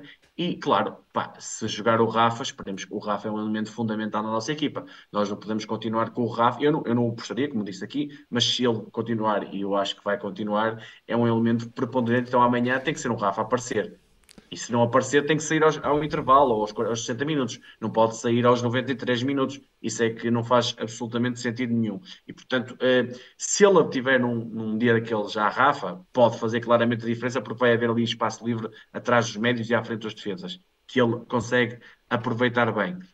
E, e, pá, e obviamente, um golo inicial, e estamos a falar no mesmo, pode obrigar um bocado o Marselha se bem que eu tenho algumas dúvidas, um gol cedo que eles façam isso, mas pode obrigar o Marselha a sair e o Marselha a dar espaço nas costas, a, a permitir-nos os nossos, uh, as nossas Sim, mas isso é sujeitar-se a matar a eliminatória. Pronto, é isso, mas pode acontecer e, e elementos Sim. como o Rafa, como o Neres, como o Di Maria podem claramente fazer a, a diferença, mas é fundamental a, segu a segunda linha de pressão, Sérgio, como no jogo Sporting, apertar bem, estar muito próxima da primeira, ou seja, o Benfica fazer um campo um meio-campo praticamente, colocar quase os 22 jogadores em meio-campo, as duas linhas estarem, estarem lá em cima, bem coladas, apertar e ganhar essa segunda bola e obrigar, o, o, quando o Marseille não jogar essa segunda bola, essa bola, tentar ligar pelos médios, obrigá-los a bater uh, longo e ganharmos novamente a bola. Isso é um desgaste mental forte. O Marseille começa a jogar, a, a jogar muitas vezes mal, a não acreditar no que está a fazer e o Benfica depois pode matar com o seu futebol que é melhor, no seu melhor é claramente melhor que até o melhor Marselha e que é difícil termos amanhã o melhor Marselha porque há duas ausências para mim, tem um peso brutal e, e o Benfica tem aqui uma, uma janela, uma oportunidade grande pela frente de fazer um resultado robusto e já, já disse isto, dois até três gols de diferença para eh, caminhar rumo às meias finais. João, e aqui o, o João Lourenço pergunta-te, e que debilidades temos de esconder, João? Nós temos que esconder, nós temos que, olha, nós a, a, a, em, em, primeiro lugar temos que esconder, temos que tentar jogar pouco em ataque posicional. Porquê? Porque o, o, o, ataque posicional do Benfica tem muitas debilidades. Por isso é que é importante, quando se diz o Benfica roubar a bola e atacar rápido, é para tentar não jogar muito tempo em ataque posicional. O Benfica em ataque posicional hum, cria pouco. Ou, ou seja, tens, por exemplo, um elemento como o Florentino, baixa-te um bocadinho esses, esses níveis. E, tens um Rafa apagado, baixa-se esses níveis. Tens, se jogar o Casper, então baixa-te esses níveis, não é um jogador que tenha qualidade com bola. Mesmo ter um, um Fred a lateral esquerdo não ajuda a isso, a circulação de bola, porque não tem pé esquerdo. Ou seja, há aqui muitos problemas em ataque posicional do Benfica. Esconder a questão do, do Otamendi, as costas do Otamendi, ter esse, esse cuidado. Se bem que o, como é que se diz? O, agora falta-me o nome o NDI pode aproveitar isso, uh, o segundo avançado deles, o Aubameyang deve cair, como te disse, mais sobre o lado esquerdo e, portanto, não teremos tanto isso uh, exposto. E depois a questão das bolas paradas. Temos de ter muito cuidado com as bolas paradas. Qualquer lance pode ser prejudicial. O Benfica tem que estar muito concentrado. Lá está, a tal segunda bola, estar muito atento e não falhar. E, e, e depois também, claro que o, o Trubin, eu não estou a dizer que ele tem uma culpa incrível, porque eu acho que, mais uma vez digo, um jogo grande, o Benfica não soube fazer uma falta, e não interessa estar no primeiro minuto de jogo. Eu lembro-me de um clássico onde o André Almeida fez uma falta sobre o Telho, no Dragão, aos 3 minutos de jogo, porque tinha que a fazer. Não interessa. Se o jogador vai, não é isolado, mas vai com muito perigo para uh, entrar João, na nossa tem, área. Temos um problema com faltas cirúrgicas, mas isto já vem é, é inacreditável. É, uma, é, é, bolas paradas e essas faltas. É uma coisa que me irrita. Seja qualquer treinador não consegue fazer isso. Há, há alguém que tem que lhes dizer. E, e, ele, o pote passou no meio do Bá e do Tino. Houve ali dois momentos para poder fazer falta e virava e levava amarelo. Paciência. Agora, é pior levar um golo. E, e aí, pronto, o Trubin não teve tão bem, podia ter aliviado. Se bem que foi ali atrapalhado um bocadinho pelo Otamendi, devia ter aliviado melhor forma. É, Parece-me um elemento que também está a ir um bocadinho atrás da equipa no momento mau que atravessa, da intranquilidade, também faz parte, lá está, a, a, idade, a pouca experiência também leva um bocadinho a isso e, e mostrar amanhã, uh, nos poucos lances que eu acho que vai ter, o Marcelo eu acho que não vai atacar muito, mas mostrar aquilo que já nos deu muitos pontos ao longo da, da época e ser decisivo na, a parar um ou outro lance que possa surgir para evitar golos na, na nossa baliza. João, não achas que um o João Santos deixa aqui uma pergunta que é uh, o aspecto mental do jogo de Alvalade pode pesar neste jogo, até que ponto? Eu até faço a pergunta de outra forma, que é, não seria melhor uh, jogarmos primeiro uh, em França, até porque este jogo, vem, como vem no seguimento do derby, estás a ver? Olha, As coisas podem não sair e, e o estádio eu, eu, vem aí abaixo. É, é, eu vou-te vou -te responder exatamente com a entrada em jogo. Se o Benfica entrar da forma que entrou nesse derby da taça, esse aspecto mental apaga-se e transforma-se em inferno bom para nós. Ou seja, as pessoas começam a, a, a calentar a esperança de ir a uma meia-final europeia. Estamos a falar aqui de um acesso a uma meia-final europeia. Não é uma coisa de sumenos, não é uma coisa de, ah, pronto, não vamos agora ligar a isto. Não. Obviamente que as pessoas estão com, e a equipa está com aquela questão, o peso de ter perdido dois dos grandes objetivos da época na última semana. Mas, como nós sabemos, os jogadores ligam muito à Europa. ok? Aliás, o próprio Di Maria, para dar aqui uma coisa, disse ao Rui Costa, na altura em que assinou o contrato, havia um, um, um, um troféu que nunca tinha ganho, que era a Liga Europa. ok? Portanto, um gajo que tem um, um palmarés ganhou tudo e mais uma coisa. Ele falou na Liga Europa, não foi por acaso. Portanto, então, mas ele, ele quer já... Portugal tem os títulos todos. Pá, já não me lembro de todos. Não sei se não tem a taça de Portugal. Mas pá, quando falo em títulos todos, é os títulos mais importantes, digamos, europeus, Nossa. campeonatos. Não, sim, para ele, Di Maria. Eu estou a perceber, eu estou a perceber. Eu, eu sei que ele, ele, tem a taça da Liga e o campeonato da primeira época, não tem a taça de Portugal. Pronto, tem a supertaça deste ano, falta-lhe a taça de Portugal, creio eu. Acho que é isso, dos anos que teve aqui. Não tem a taça de Portugal. Mas pronto, para ele, Di Maria, a Liga Europa falta-lhe ali no palmarés. E ele fala nisso. E ele é um elemento que, até por curiosidade, até estava a ver isso ele defrontou 16 vezes já o Marseille. E sabes quantas ganhou? 12. Empatou 13 e só perdeu uma. É dos clubes que ele mais defrontou e já marcou, creio que 5 okay. ou 6 golos, 6 ou 7 assistências. Já defrontou, jogou no Paris Saint-Germain, defrontou-os muitas vezes. Creio que defrontou-os também pela Juve, não tenho a certeza. Pelo Benfica, foi o único elemento que resta daquela equipa de 2010 que, que os defrontou. Ele agora vai jogar novamente, passado 14 anos, contra o mesmo Marseille e, portanto, é, é, os jogadores vão com o pensamento muito competições europeias, porque sabem que quartos de final, já estamos aqui a falar numa mini Champions a partir dos quartos de final, não estamos a falar, obviamente, com as eliminatórias anteriores são mais fracas, e o Benfica viu, passou o Reis de Toulouse a jogar muitíssimo mal, mas a partir de agora estamos a falar no, num outro nível. Uh, o Benfica, chegando aqui, sabe que em quatro jogos pode chegar a uma final europeia. Quem é que não quer estar numa final europeia? Claro. Quem, é que não quer, quem é que não quer jogar uma final da Europa e poder jogar uma supertaça europeia e poder qualificar-se diretamente para a Champions? Pá, tudo isto entra na cabeça dos jogadores, tudo isto é uma montra europeia, portanto eu acho que os jogadores vão, vão conseguir mudar de chip. Agora, o que ajuda muito até ao público, até à bancada, é uma entrada forte. Se o Benfica entrar forte e marcar cedo, acho que pode ajudar a fazer um grande resultado. Acho que era muito importante, até em termos emocionais, para equilibrar a equipa e partir para um, para um bom resultado que até a bancada merece muito, dado o que tem sofrido ao longo desta época. João, estás confiante? Por acaso estou. Ah, depois de ver o Marselha e de, e de ver os últimos dois jogos do Benfica. E viste o aquele... Benfica? Ah, viste o Benfica também. Sim, sim. Sim, com aquele nível exibido, porque estamos a falar de uma equipa que é claramente mais fraca que o Sporting, não tenho uh, dificuldades em dizer isso, e não tenho um treinador que o Sporting tem em termos estratégicos, etc, etc, que consegue, que consegue ver. Não, pá, só estás-me a dizer em termos de confiança. Uh, olha, se o Liverpool não ajuda. Uh, pronto, o que é que eu tenho a dizer? Uh, portanto, estou confiante, claramente. Agora, isto não, pode ser o Benfica do nível dos Chaves, nem o nível que ele jogou outra. Se jogar esse nível, o mais certo é até perdermos o jogo, ou temos mais perto de perder. E esta coisa do jogar mal e ganhar e jogar bem e perder, isso não existe, ok? Se tivéssemos jogado mal os dois jogos com o Sporting, tínhamos perdido em largo. Portanto, é, é, só isso que eu tenho a dizer. O Benfica tem que jogar bem e vai estar mais próximo de ganhar porque é melhor que o Marselha e pode, tem tudo para chegar a uma meia-final. Muito bem. Achas que a nossa equipa vai precisar de uma mão para chegar às meias finais? O ombro, o ombro. Se o homem diz que é o ombro, uma, é o ombro. Uma mão dos adeptos. Pode ser. Ah, isso sim, isso sim, acho que sim. Acho que, acho que o Benfica tem que pensar desta forma, que é não pode levar a eliminatória para lá, digamos, demasiado equilibrada, porque aí o Velodrome pode jogar a favor e o Marseille é muito, muito, muito mais forte em casa do que fora, como provam os números, como provam as exibições, como prova tudo ao longo desta época e ao longo até dos últimos anos, mas, mas estamos a falar desta época e até com este treinador. Portanto, o, acho que a missão amanhã, mais do que ganhar, é ganhar e tentar elevar a eliminatória muito bem encaminhada para a França, que nos pode dar mais uns valentes anos depois, mais uma meia-final europeia e depois de dois quartos de final a nível europeu na grande competição que é a Liga dos Campeões, uma meia final na Liga Europa não é nada a desprezar e depois veremos o que acontece, veremos o adversário que temos pela frente. Tudo bem que pode ser o Liverpool, já sabemos, mas não é, não é certo. Primeiro pensar no Marselha e eliminar o Marselha e depois estaremos a dois jogos de Dublin. Muito bem, uma mão para a glória. João Nuno, muito bem.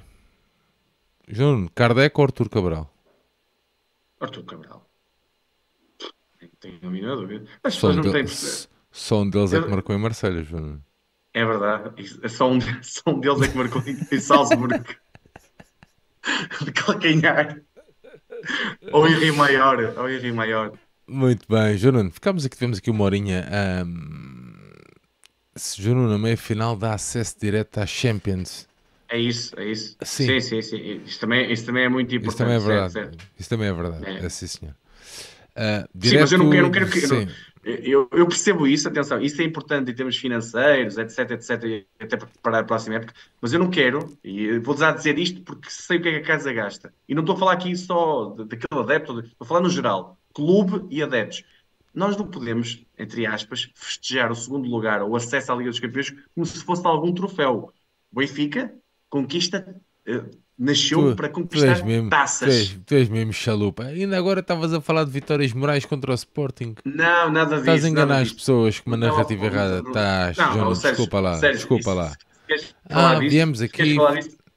Olha, Sérgio, se queres falar disso, é, é, não, é, não é me chateei, mas fiquei mesmo desiludido com os aplausos que vi eh, e que pude observar em Alvalade depois da, daquele derrota. Mas pronto, isso é outro tema que podemos falar aí mais à frente em termos de exigência de adeptos, que eu acho que está muito aquém.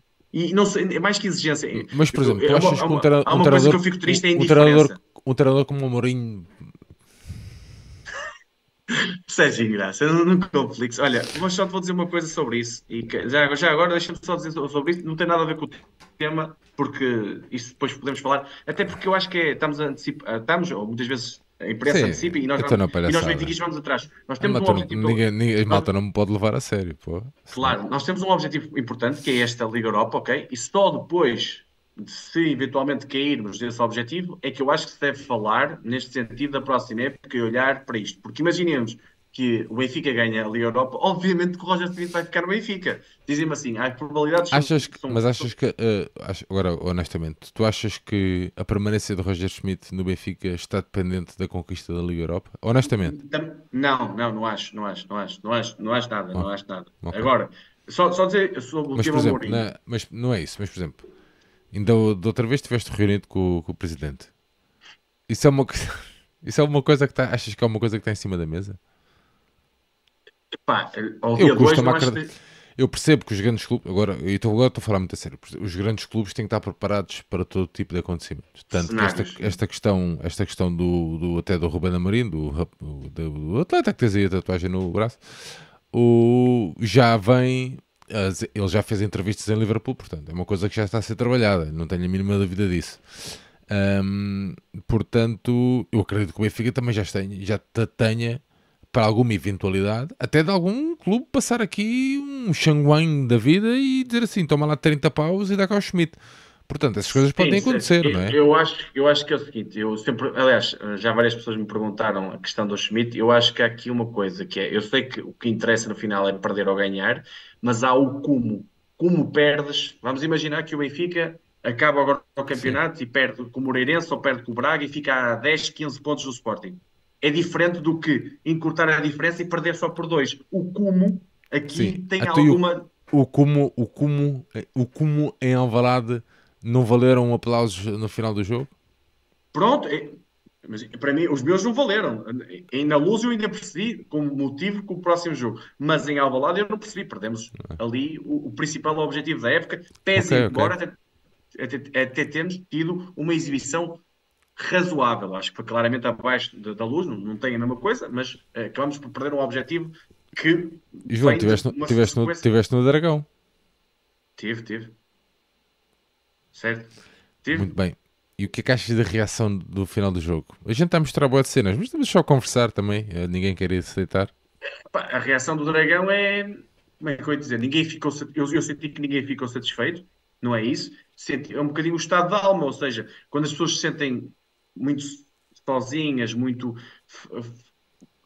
digamos assim, o amor falhou ali e quiseram gritar a bem a, a alto o nome do Benfica. É um bocadinho por aí, é isso, mas é em sofrimento. Em Alvalade eu senti indiferença perante o resultado. Ou seja, parecia que estamos todos à espera daquilo, aquilo aconteceu e nós banalizámos eu, eu a derrota. Eu percebo o que é estás a dizer. E eu, eu isso não gosto. Eu senti, senti mesmo mal. E atenção, depois do Dragão, eu também acho que eh, nós, nós benfiquistas, e eu aqui junto-me a tudo, é o universo. Eu não quero estar a dizer que é aqueles, aqueles outros, não é nada. Estamos a, a demasiado a banalizar. Olhando uma retro, retrospectiva, quatro troféus nos últimos 28, ou logo o que, é que é, acho que é assim uma, uma ou, ou 11 nos últimos 50 entre taças de Portugal e campeonato, é muito mal dado o contexto económico, financeiro que o Benfica tem sobre os, os, os rivais, principalmente na última década. Isso é indisculpável e, portanto, eu fiquei em sofrimento. Aliás, ainda hoje custa-me a digerir aquele tipo de resultado, porque acho que o Benfica tinha a obrigação de ser campeão este ano, tinha a obrigação de ir ao Jamor, tinha a obrigação de ganhar a taça da Liga e o que é mais certo é que não vamos ganhar nenhum desses troféus e a próxima supertaça vamos ver sentados no sofá os outros a lutarem por mais um troféu e, portanto, é o que tem sido, infelizmente, mais a maioria das nossas épocas, ao contrário do que devia ser, no mínimo em quatro anos ganhamos três campeonatos, que devia ser a normalidade do Sport Lisboa e Benfica, mas pronto. Isto é uma matéria que depois teremos no final da época para fazer as devidas ilações, mas deixa-me só dizer uma coisinha que eu depois fiquei a meio. Sobre a questão Mourinho. Hoje na conferência de imprensa perguntaram ao Roger Smith isso.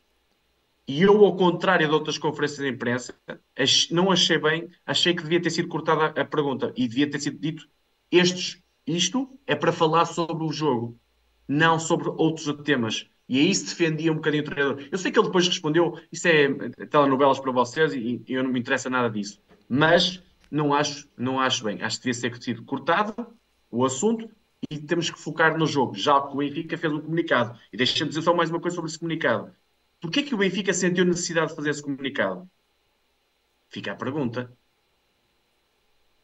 Se eu tivesse segurança total no meu treinador. João, não comeces, não me digas, não, não, não, não faças essas observações no final de uma, de uma live a meio da semana, na véspera de um jogo para a Liga Europa, que estás-me a deixar com muito receio, João Nuno.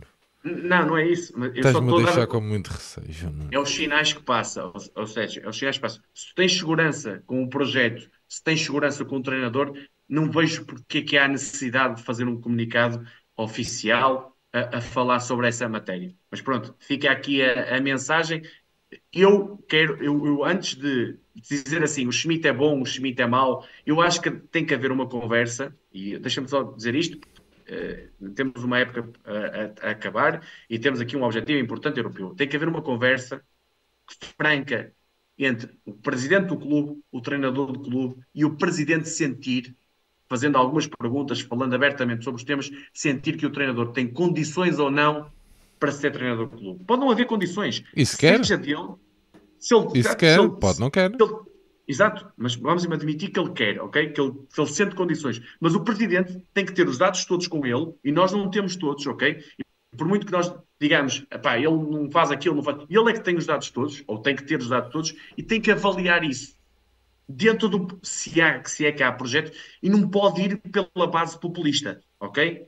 Não pode ir porque o povo sente que o povo quer o Mourinho, ou quer o Pep Guardiola, ou quer o, Zé, Zé Manel, vamos fazer isto à vontade do povo.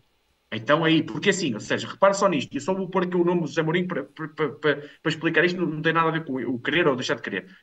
Se passar de Roger Smith para José Mourinho, quer dizer que não há projeto nenhum no Benfica.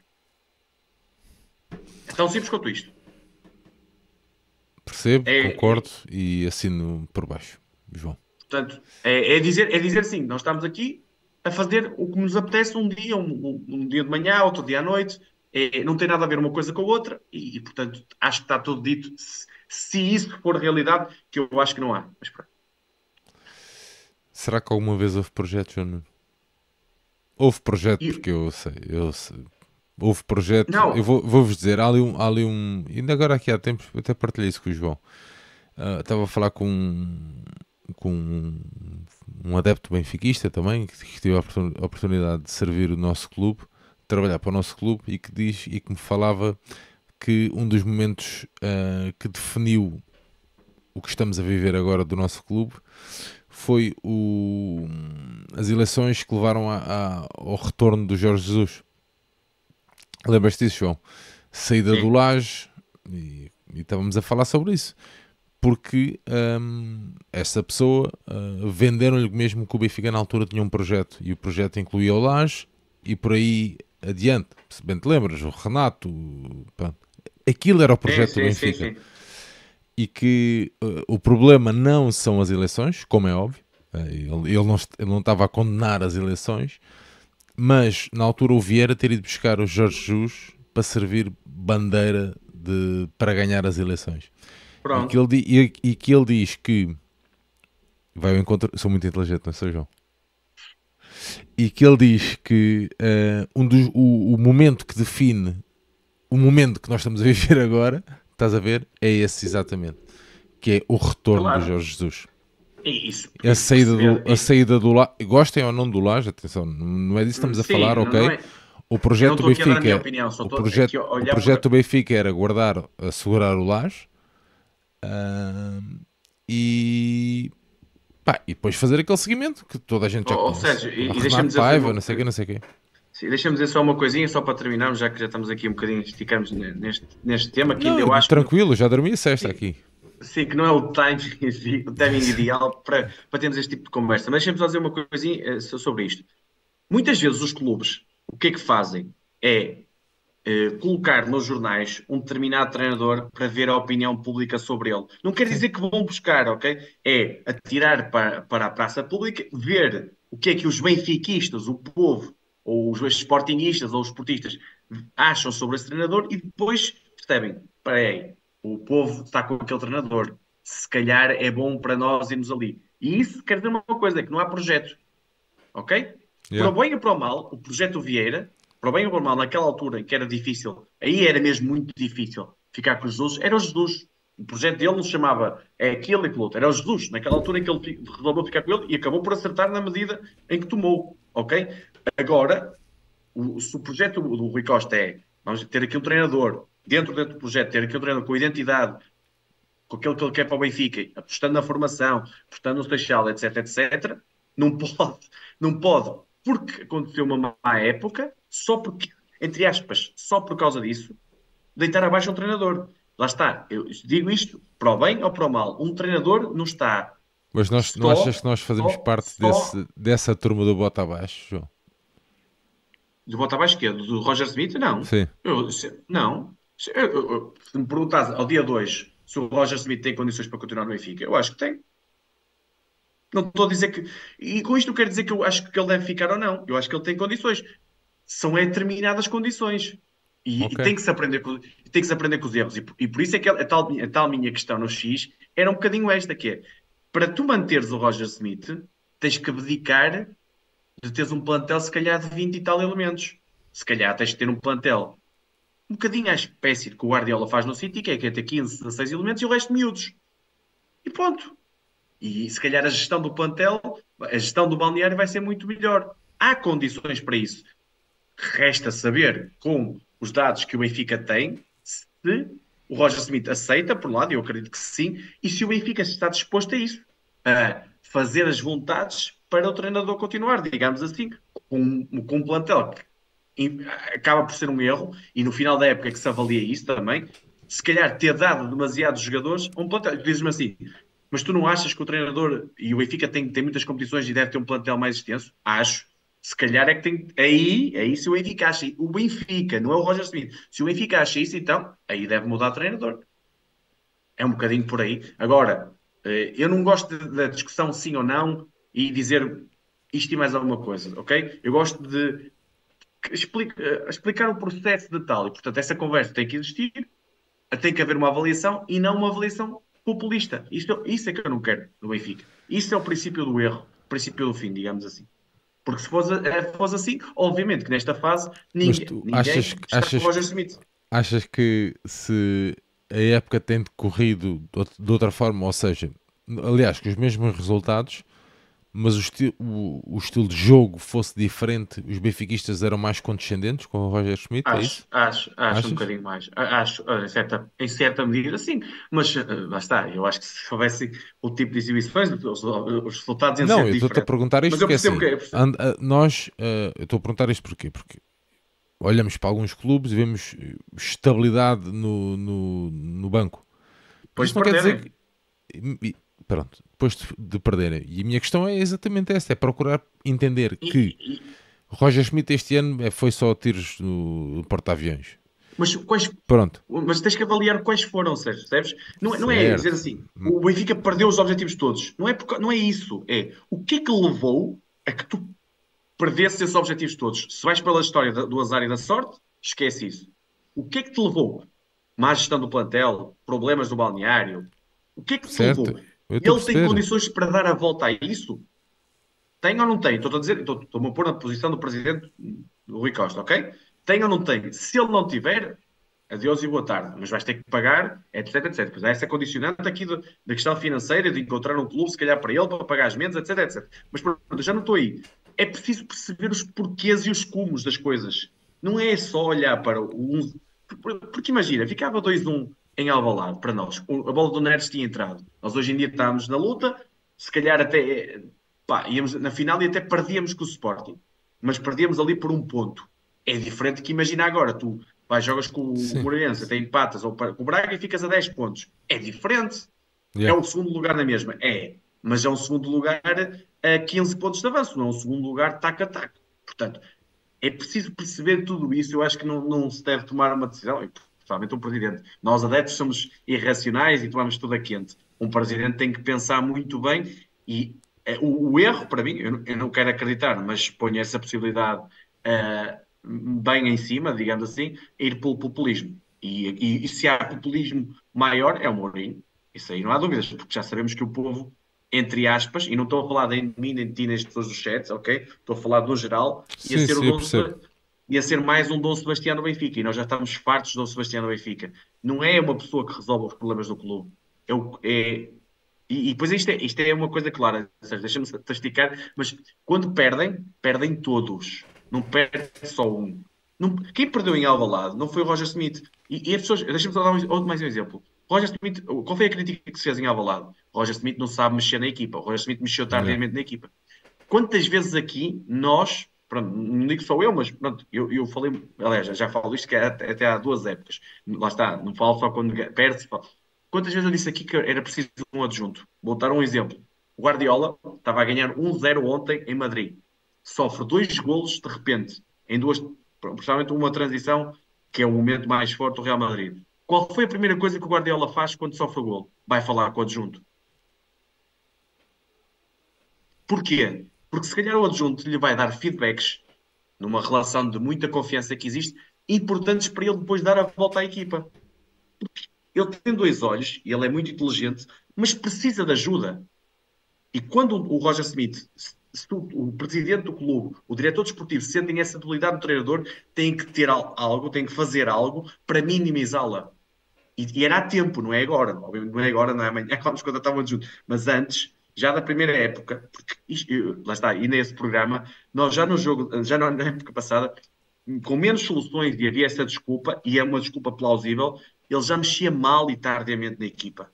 E já nessa altura, eu lembro-me de fazer até um programa com o Picado, que não sei se foi um dos, um dos, como é que se chama, os programas fora, uh, exteriores.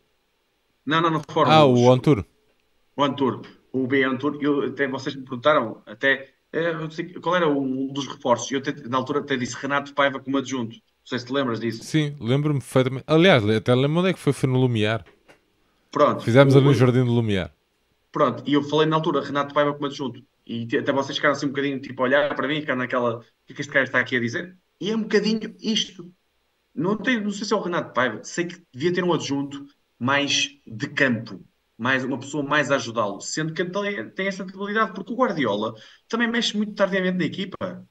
Ok? Mas tem outro tipo de, de futebol. Tem Sim, outro tipo também joga um 4 centrais. Já, não, já, tô, já sei qual é a Sim, explicação. Não estou a comparar nada, mas só estou a dizer uma coisa que é não, só, não é só o Roger Smith que tenha o culpado de tudo. O, o Rui Costa é culpado, o Lourenço é culpado, o Luizão é culpado, o Rabi é culpado, os jogadores são culpados. Todos. E, infelizmente, no Benfica, quando perdem, só perde um. Quando ganham, ganham todos. E isso é um erro que se comete. E se calhar estava na hora de uh, o presidente do clube vir falar, vir dar alguma. pôr água na. como é que se diz? na fervura, não é? Que dizer algo, falar aos adeptos, porque por vezes nós precisamos disso, ok? E não é questão de o Roger Smith eh, mandar um comunicado, porque aquele comunicado, na minha opinião, tem uma mensagem claramente errada, mas pronto, é só a minha opinião e, desse comunicado. E o timing, não tem nada que fazer comentário. O comunicado, aliás. Porque se vamos a responder cada vez. Se sim, amanhã sim, vamos sim, sair, vamos mas repara, há uma franja, há uma franja, do Abel Ferreira, uma, vamos dizer uma, o mesmo. Há uma franja de adeptos que pode dizer assim: então, mas vamos ficar calados e o nosso treinador está a ser atacado. Pá, Percebes? Mas eu não acho que esteja. Não é ser atacado, mas, mas, é. O que é que antes não se falou? Eu sei, eu sei, eu sei, eu sei, eu sei. Ô João, só estou aqui a tentar. Uh, eu sei, eu sei. Eu sei. Gerar, um gerar cliques que a malta quer. João Nuno, é. tens aqui 600 e tal pessoas. Queres deixar um abraço às pessoas?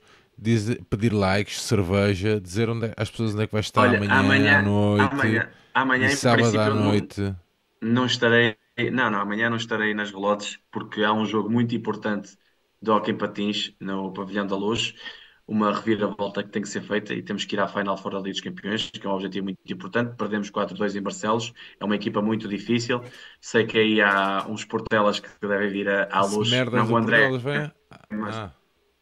Não, não é o André, é o irmão, acho que é o irmão que vem, mas pronto, por isso o, o Barcelos deve ter algum apoio e é, portanto, os adeptos do Benfica não, não na, na antecâmara do jogo com o Marselha, antecâmara, ou seja, poucas horas antes, apoiarem a equipa e ajudá-la a dar a reviravolta para chegarmos à, à decisão da, da grande competição europeia de clubes de, de hockey patins. Por isso, pá, depois não sei se ainda passarei ou não, mas eh, já sabemos que as Velotes é um grande centro de benfiquismo e de benficar e, portanto, eh, depois estaremos aqui no, no rescaldo, acho eu. Tu é que, tu é que dominas isso, não sei. Sim, estou à espera, à espera que digas que pá, apareçam depois, quem me quiser, para o rescaldo. Não, e, no sábado isso, também vou estar com o Picado aqui. E apareçam aí no, no sábado no, com o Picado na divisão Moreirense. Pô, mas, amanhã, baralhado, meu. mas amanhã, mas amanhã no pós-jogo, no rescaldo, a fazermos o atividade do Moreirense e o rescaldo amanhã o, no jogo com o Marselha. Esperemos que seja uma noite europeia à Benfica que já precisamos muito no, no rescaldo de dois maus derbys e de uma semana horrenda. João Nuno, meu amigo, estamos aí. Aquele abraço. Malta, estamos a chegar ao fim então desta, deste episódio de Antevisão. Aproveitámos para estender um bocadinho a conversa. Também tínhamos dois ou três temas que queríamos colocar e que faziam todo o sentido, que eram uh, relacionados com o jogo e portanto tínhamos mesmo que falar. Deixar-vos um grande abraço, desejar-vos uma boa noite, agradecer-vos mesmo por terem estado aí. O João Nuno estava com receio uh, antes de começarmos o, episódio em direto a dizer-me Sérgio, hoje não vai, estar, não, não vai estar assim quase ninguém. Pá, a malta está assim descontente, descrente com o nosso clube e tal. Não, João Nuno, calma. Aparece sempre gente. Sabes porquê, João Nuno? Sabes porquê?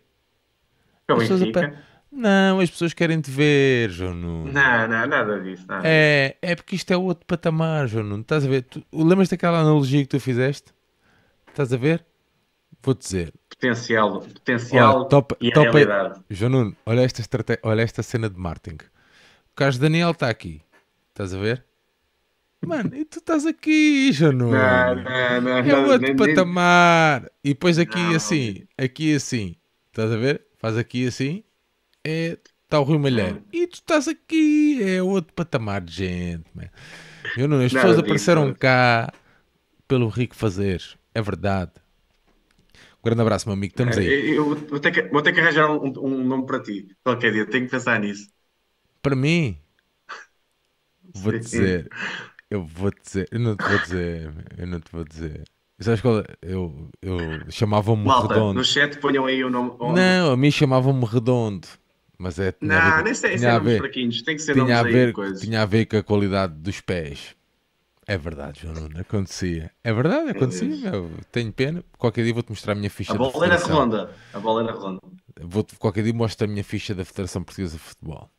Malta, desejar-vos uma boa noite, agradecer-vos mesmo por terem estado aí, uma horinha e tal. Façam like, façam like, façam like. conversa. Deixem um like que é super importante para nós. Se um, ainda tiverem um bocadinho de paciência, no final de, de, terminarmos aqui o episódio em direto, se quiserem deixar algum comentário aí na caixa de comentários, já sabem, essas cenas interessam muito ao YouTube para, nos, para aparecer nos recomendados e essas coisas todas que nós não percebemos nada. Portanto, um recado. Amanhã estamos em direto ao final da noite para o rescaldo do jogo frente ao Marselha.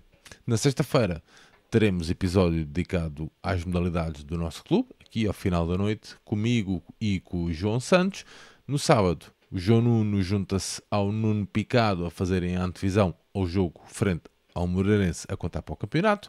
E no domingo cá estarei então ao final da noite para mais um episódio de rescaldo desta feita, desta vez, do jogo frente ao Moreirense. Portanto, temos muita coisa a acontecer. Agradecemos mesmo que vocês continuem a dar esse suporte todo, esse love todo aí desse lado.